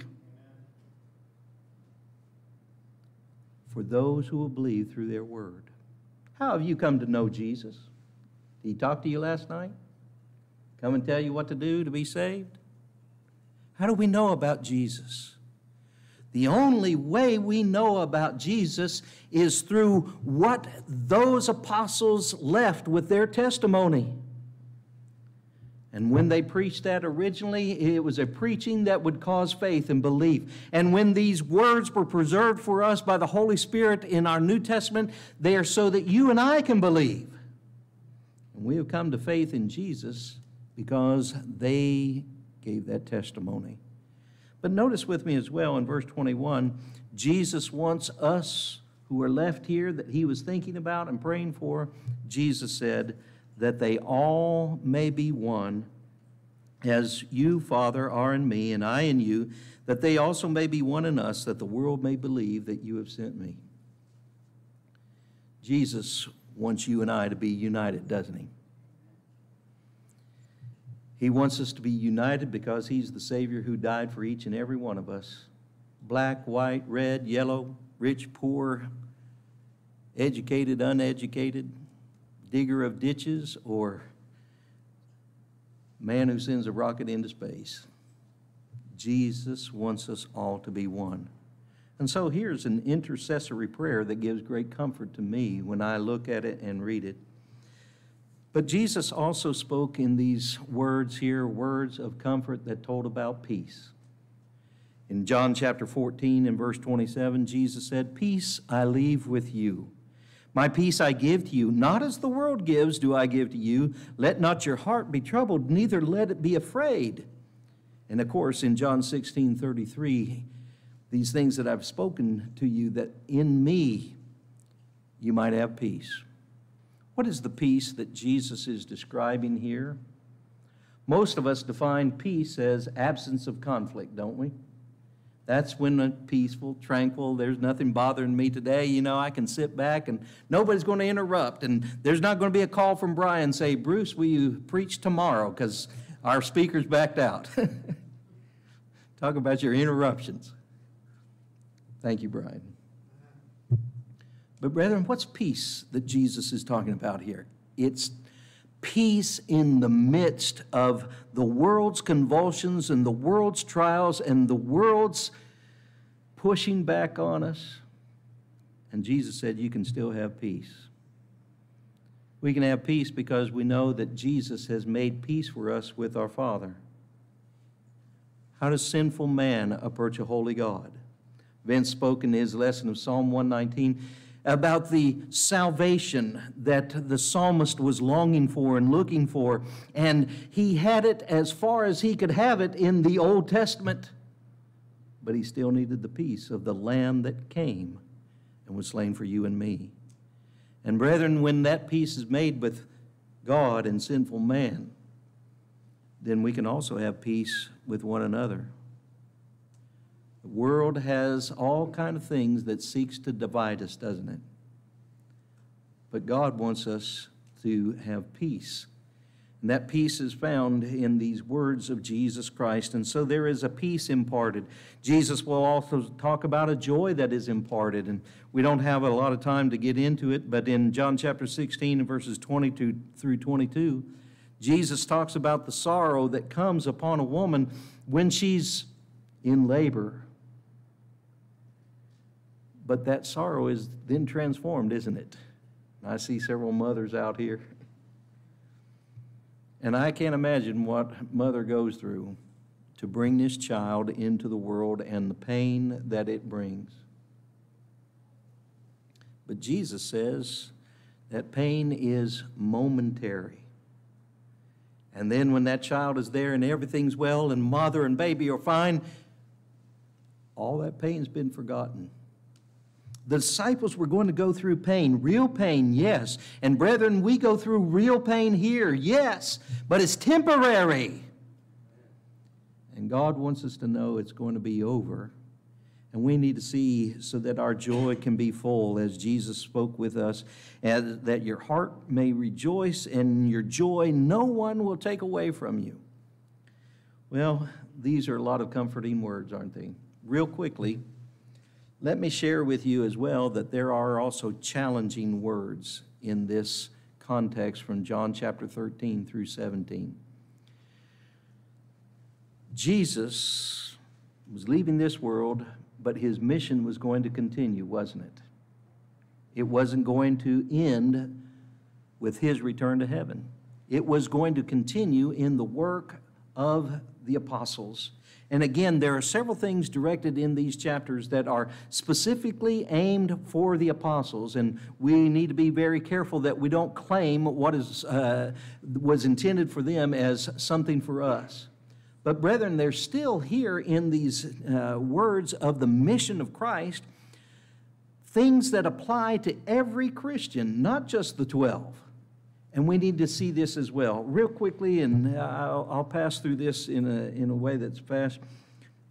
They're challenging words to every servant, every child of God to be a servant of God, right? What happens there in John chapter 13?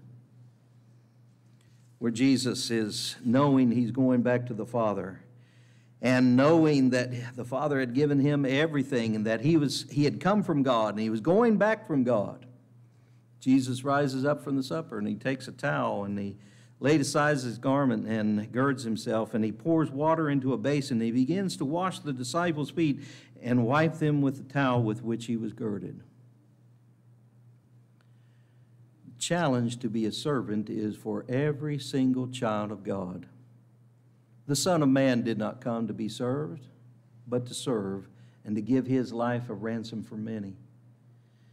The Bible says that Jesus, in the context there in Mark chapter 10, when he spoke those words, was when uh, Peter or James and John, Lord, let us sit at your right hand and at your left hand. Everything will be great. And Jesus said, You don't know what you're asking. Father's going to give it to whom he's appointed. But he wants all of them to know that you need to be about serving and not about being lords. Brethren, this world's got all the lords we need, doesn't it? A bunch of them are sitting in Congress. We've had one sitting in the presidency. A bunch of others are sitting in the Senate hall. And they all act like lords and kings. They've forgotten they're servants for us.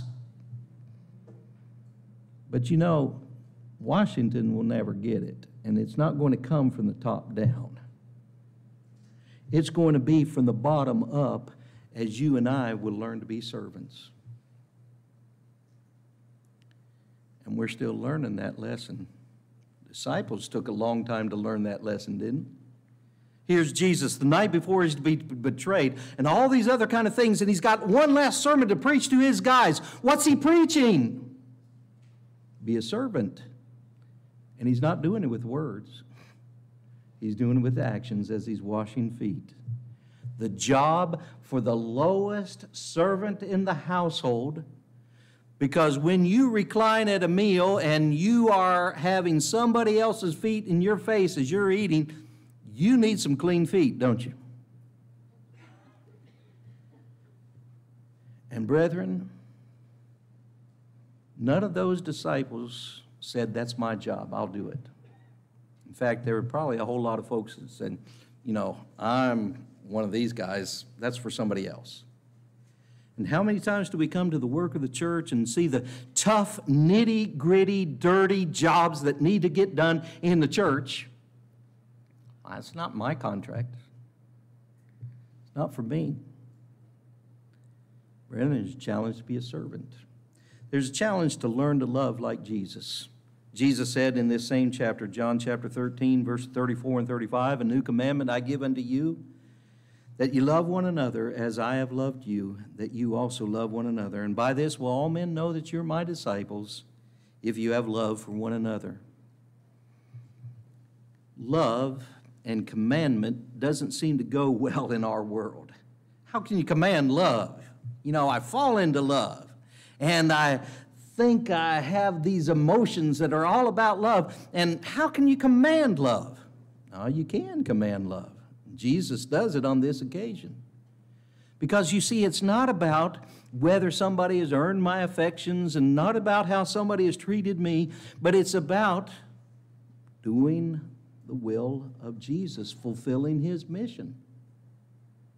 And so we learn to love. And Jesus says, as we do this, this is our badge of discipleship. I've got on a badge here today. School of Preaching has given it to us, instructors and board members. They want us to wear these. But, brethren, where's a badge for telling us that we're belonging to Jesus? You got one? I didn't get one. You got a little card in your wallet that says belonging to Christ? I can print one up. We can distribute them all out, and it'd be great, wouldn't it?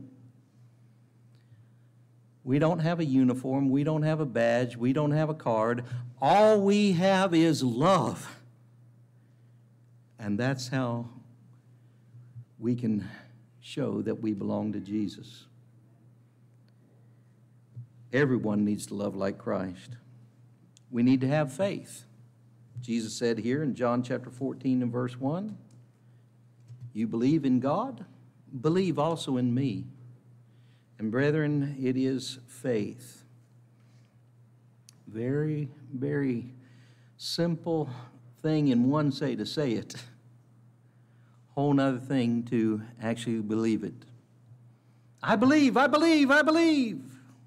Okay. Reminds me of what uh, the tightrope walker Blondin said when he was crossing Niagara Falls. He's getting ready to go across.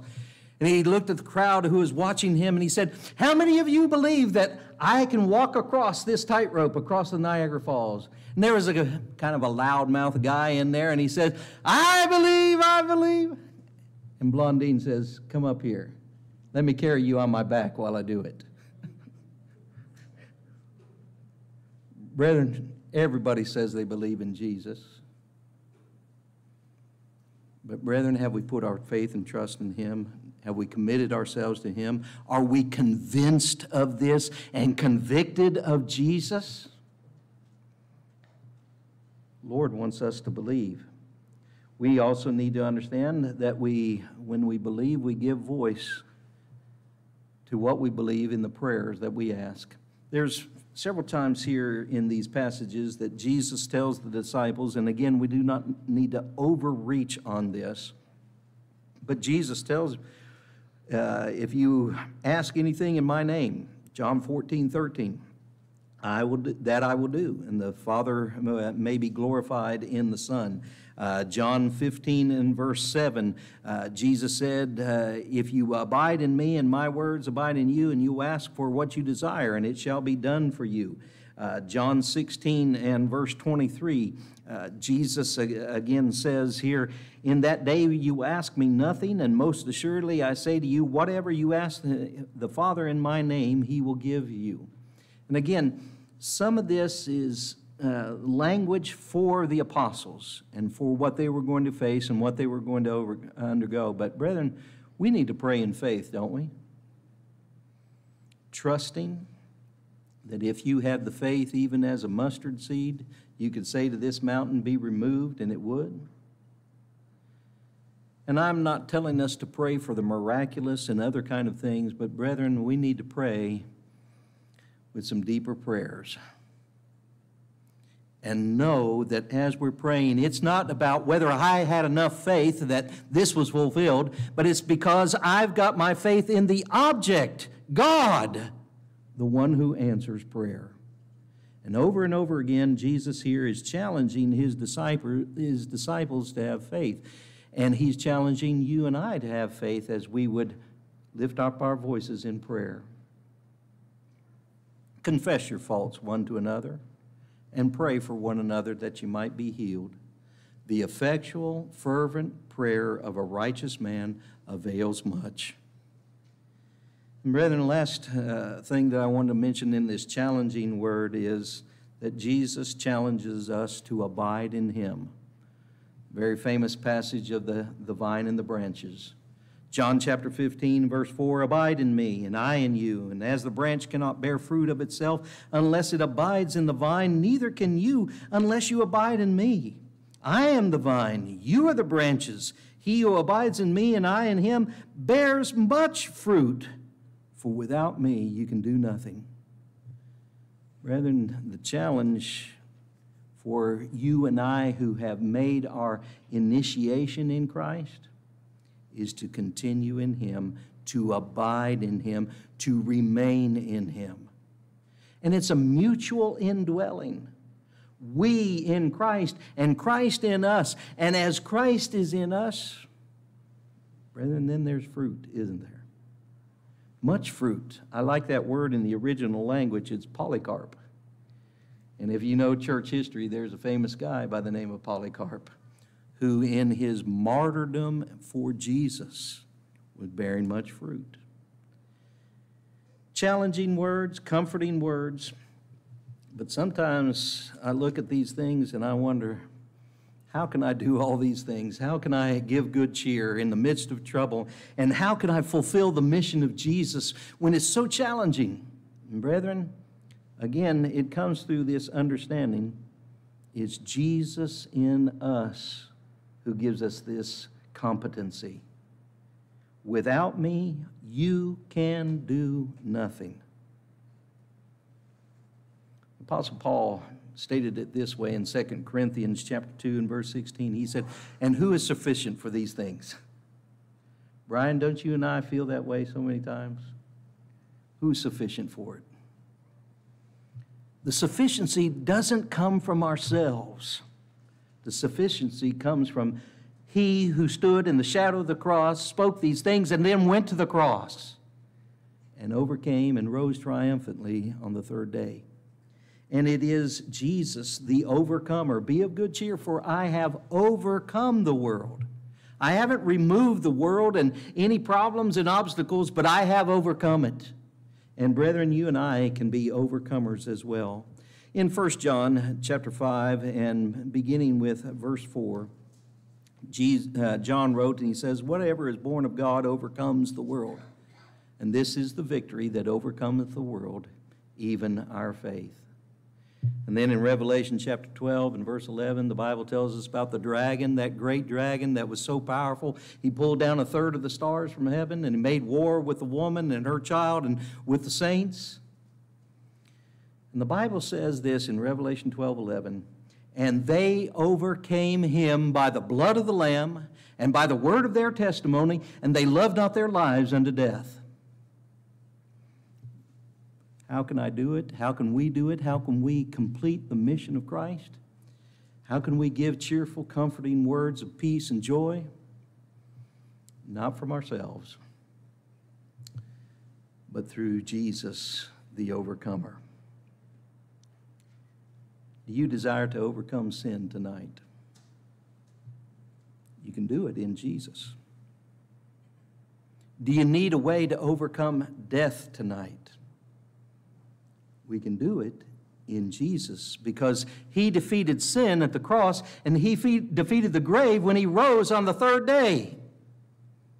And brethren, when maybe sometimes we're tempted to say, oh, yeah, that sounds like a good thing. I'd like to buy into Christianity, but I just don't know if I can do it. Again, apart from me, you can do nothing. But in Jesus, we can overcome. Jesus takes care of my sin problem. Jesus takes care of my death problem. Jesus takes care of my living for Him and the problems that sometimes surface there. How about you? Will you let Jesus take care of these problems for you? We're going to sing the invitation song tonight. If you believe and trust in the Savior who died for you, will you repent of your sins? Will you confess him before men and be buried with him to rise to walk in newness of life? Won't you come as we stand and sing? Come to the feast, come for the table now is spread.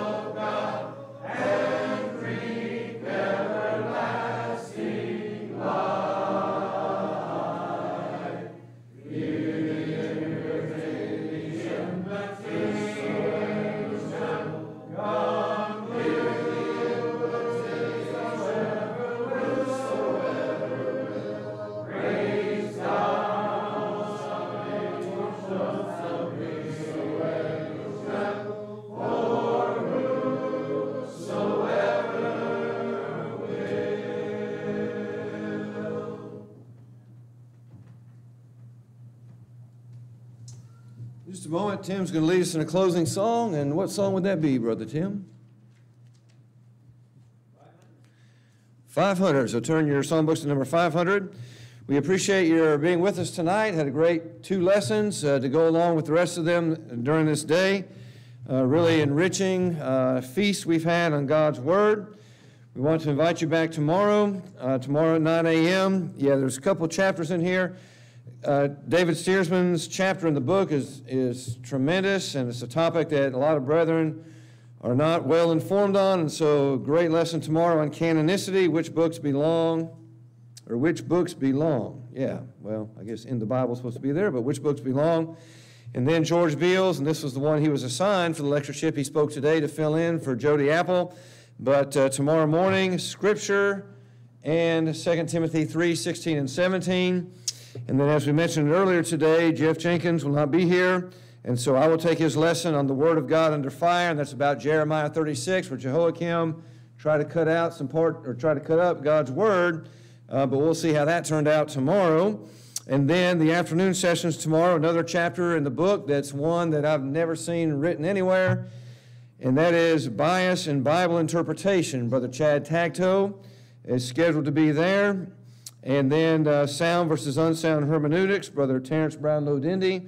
He'll deliver a message on that. In fact, he's teaching hermeneutics even this semester, a night class at Eagle Lake Church of Christ. And it's not too late to sign up for that if you'd like. Uh, just see us about that. And then um, finally, Steve Atnip at the end, the last lesson, the forum. And uh, he is filling in for Jody Apple on that one, but Jesus' application of hermeneutics. And that whole forum topic has to do with interpreting the Bible and some of the challenges we come across with that. And then our afternoon session or our evening sessions, Larry Williams, Psalm 19, Wisdom for Life's Direction. And then Jimmy Clark, uh, uh, calming words from Philippians chapter 4, 6 through 8. And it's good to see he made it in tonight, and so we're thankful for that. But if you can join us tomorrow, we'd love to have you uh, on person, especially, but also online. However, you can participate in our lectureship, we would love to have you with us uh, tomorrow. And so keep us in mind as we continue through. We appreciate the prayers of brethren. Uh, we are having the lectureship. We don't want to flaunt it. We're just going about our business, uh, studying God's Word. Great topic, great lesson so far, and we expect the same tomorrow, Wednesday, and Thursday. And we'd invite you to join us if you can. Uh, and also, we, we you know, beg you to help us out uh, with the cost. And uh, we've always come through in the past, and so we expect no different than during this lectureship. But if you can help us out, we'd much appreciate it. All right, and so as we mentioned, Brother Tim's going to lead us in that song, after which Brother Emmanuel Daugherty is going to lead us in a closing prayer. And it's good to have them with, with us from Daytona Beach, and we appreciate all their support that they give us throughout the years and their contribution in enlightening, shedding light on God's Word as we saw tonight. And so, Brother Tim, Brother Manuel, and then you will be dismissed. The song again is 500, 500.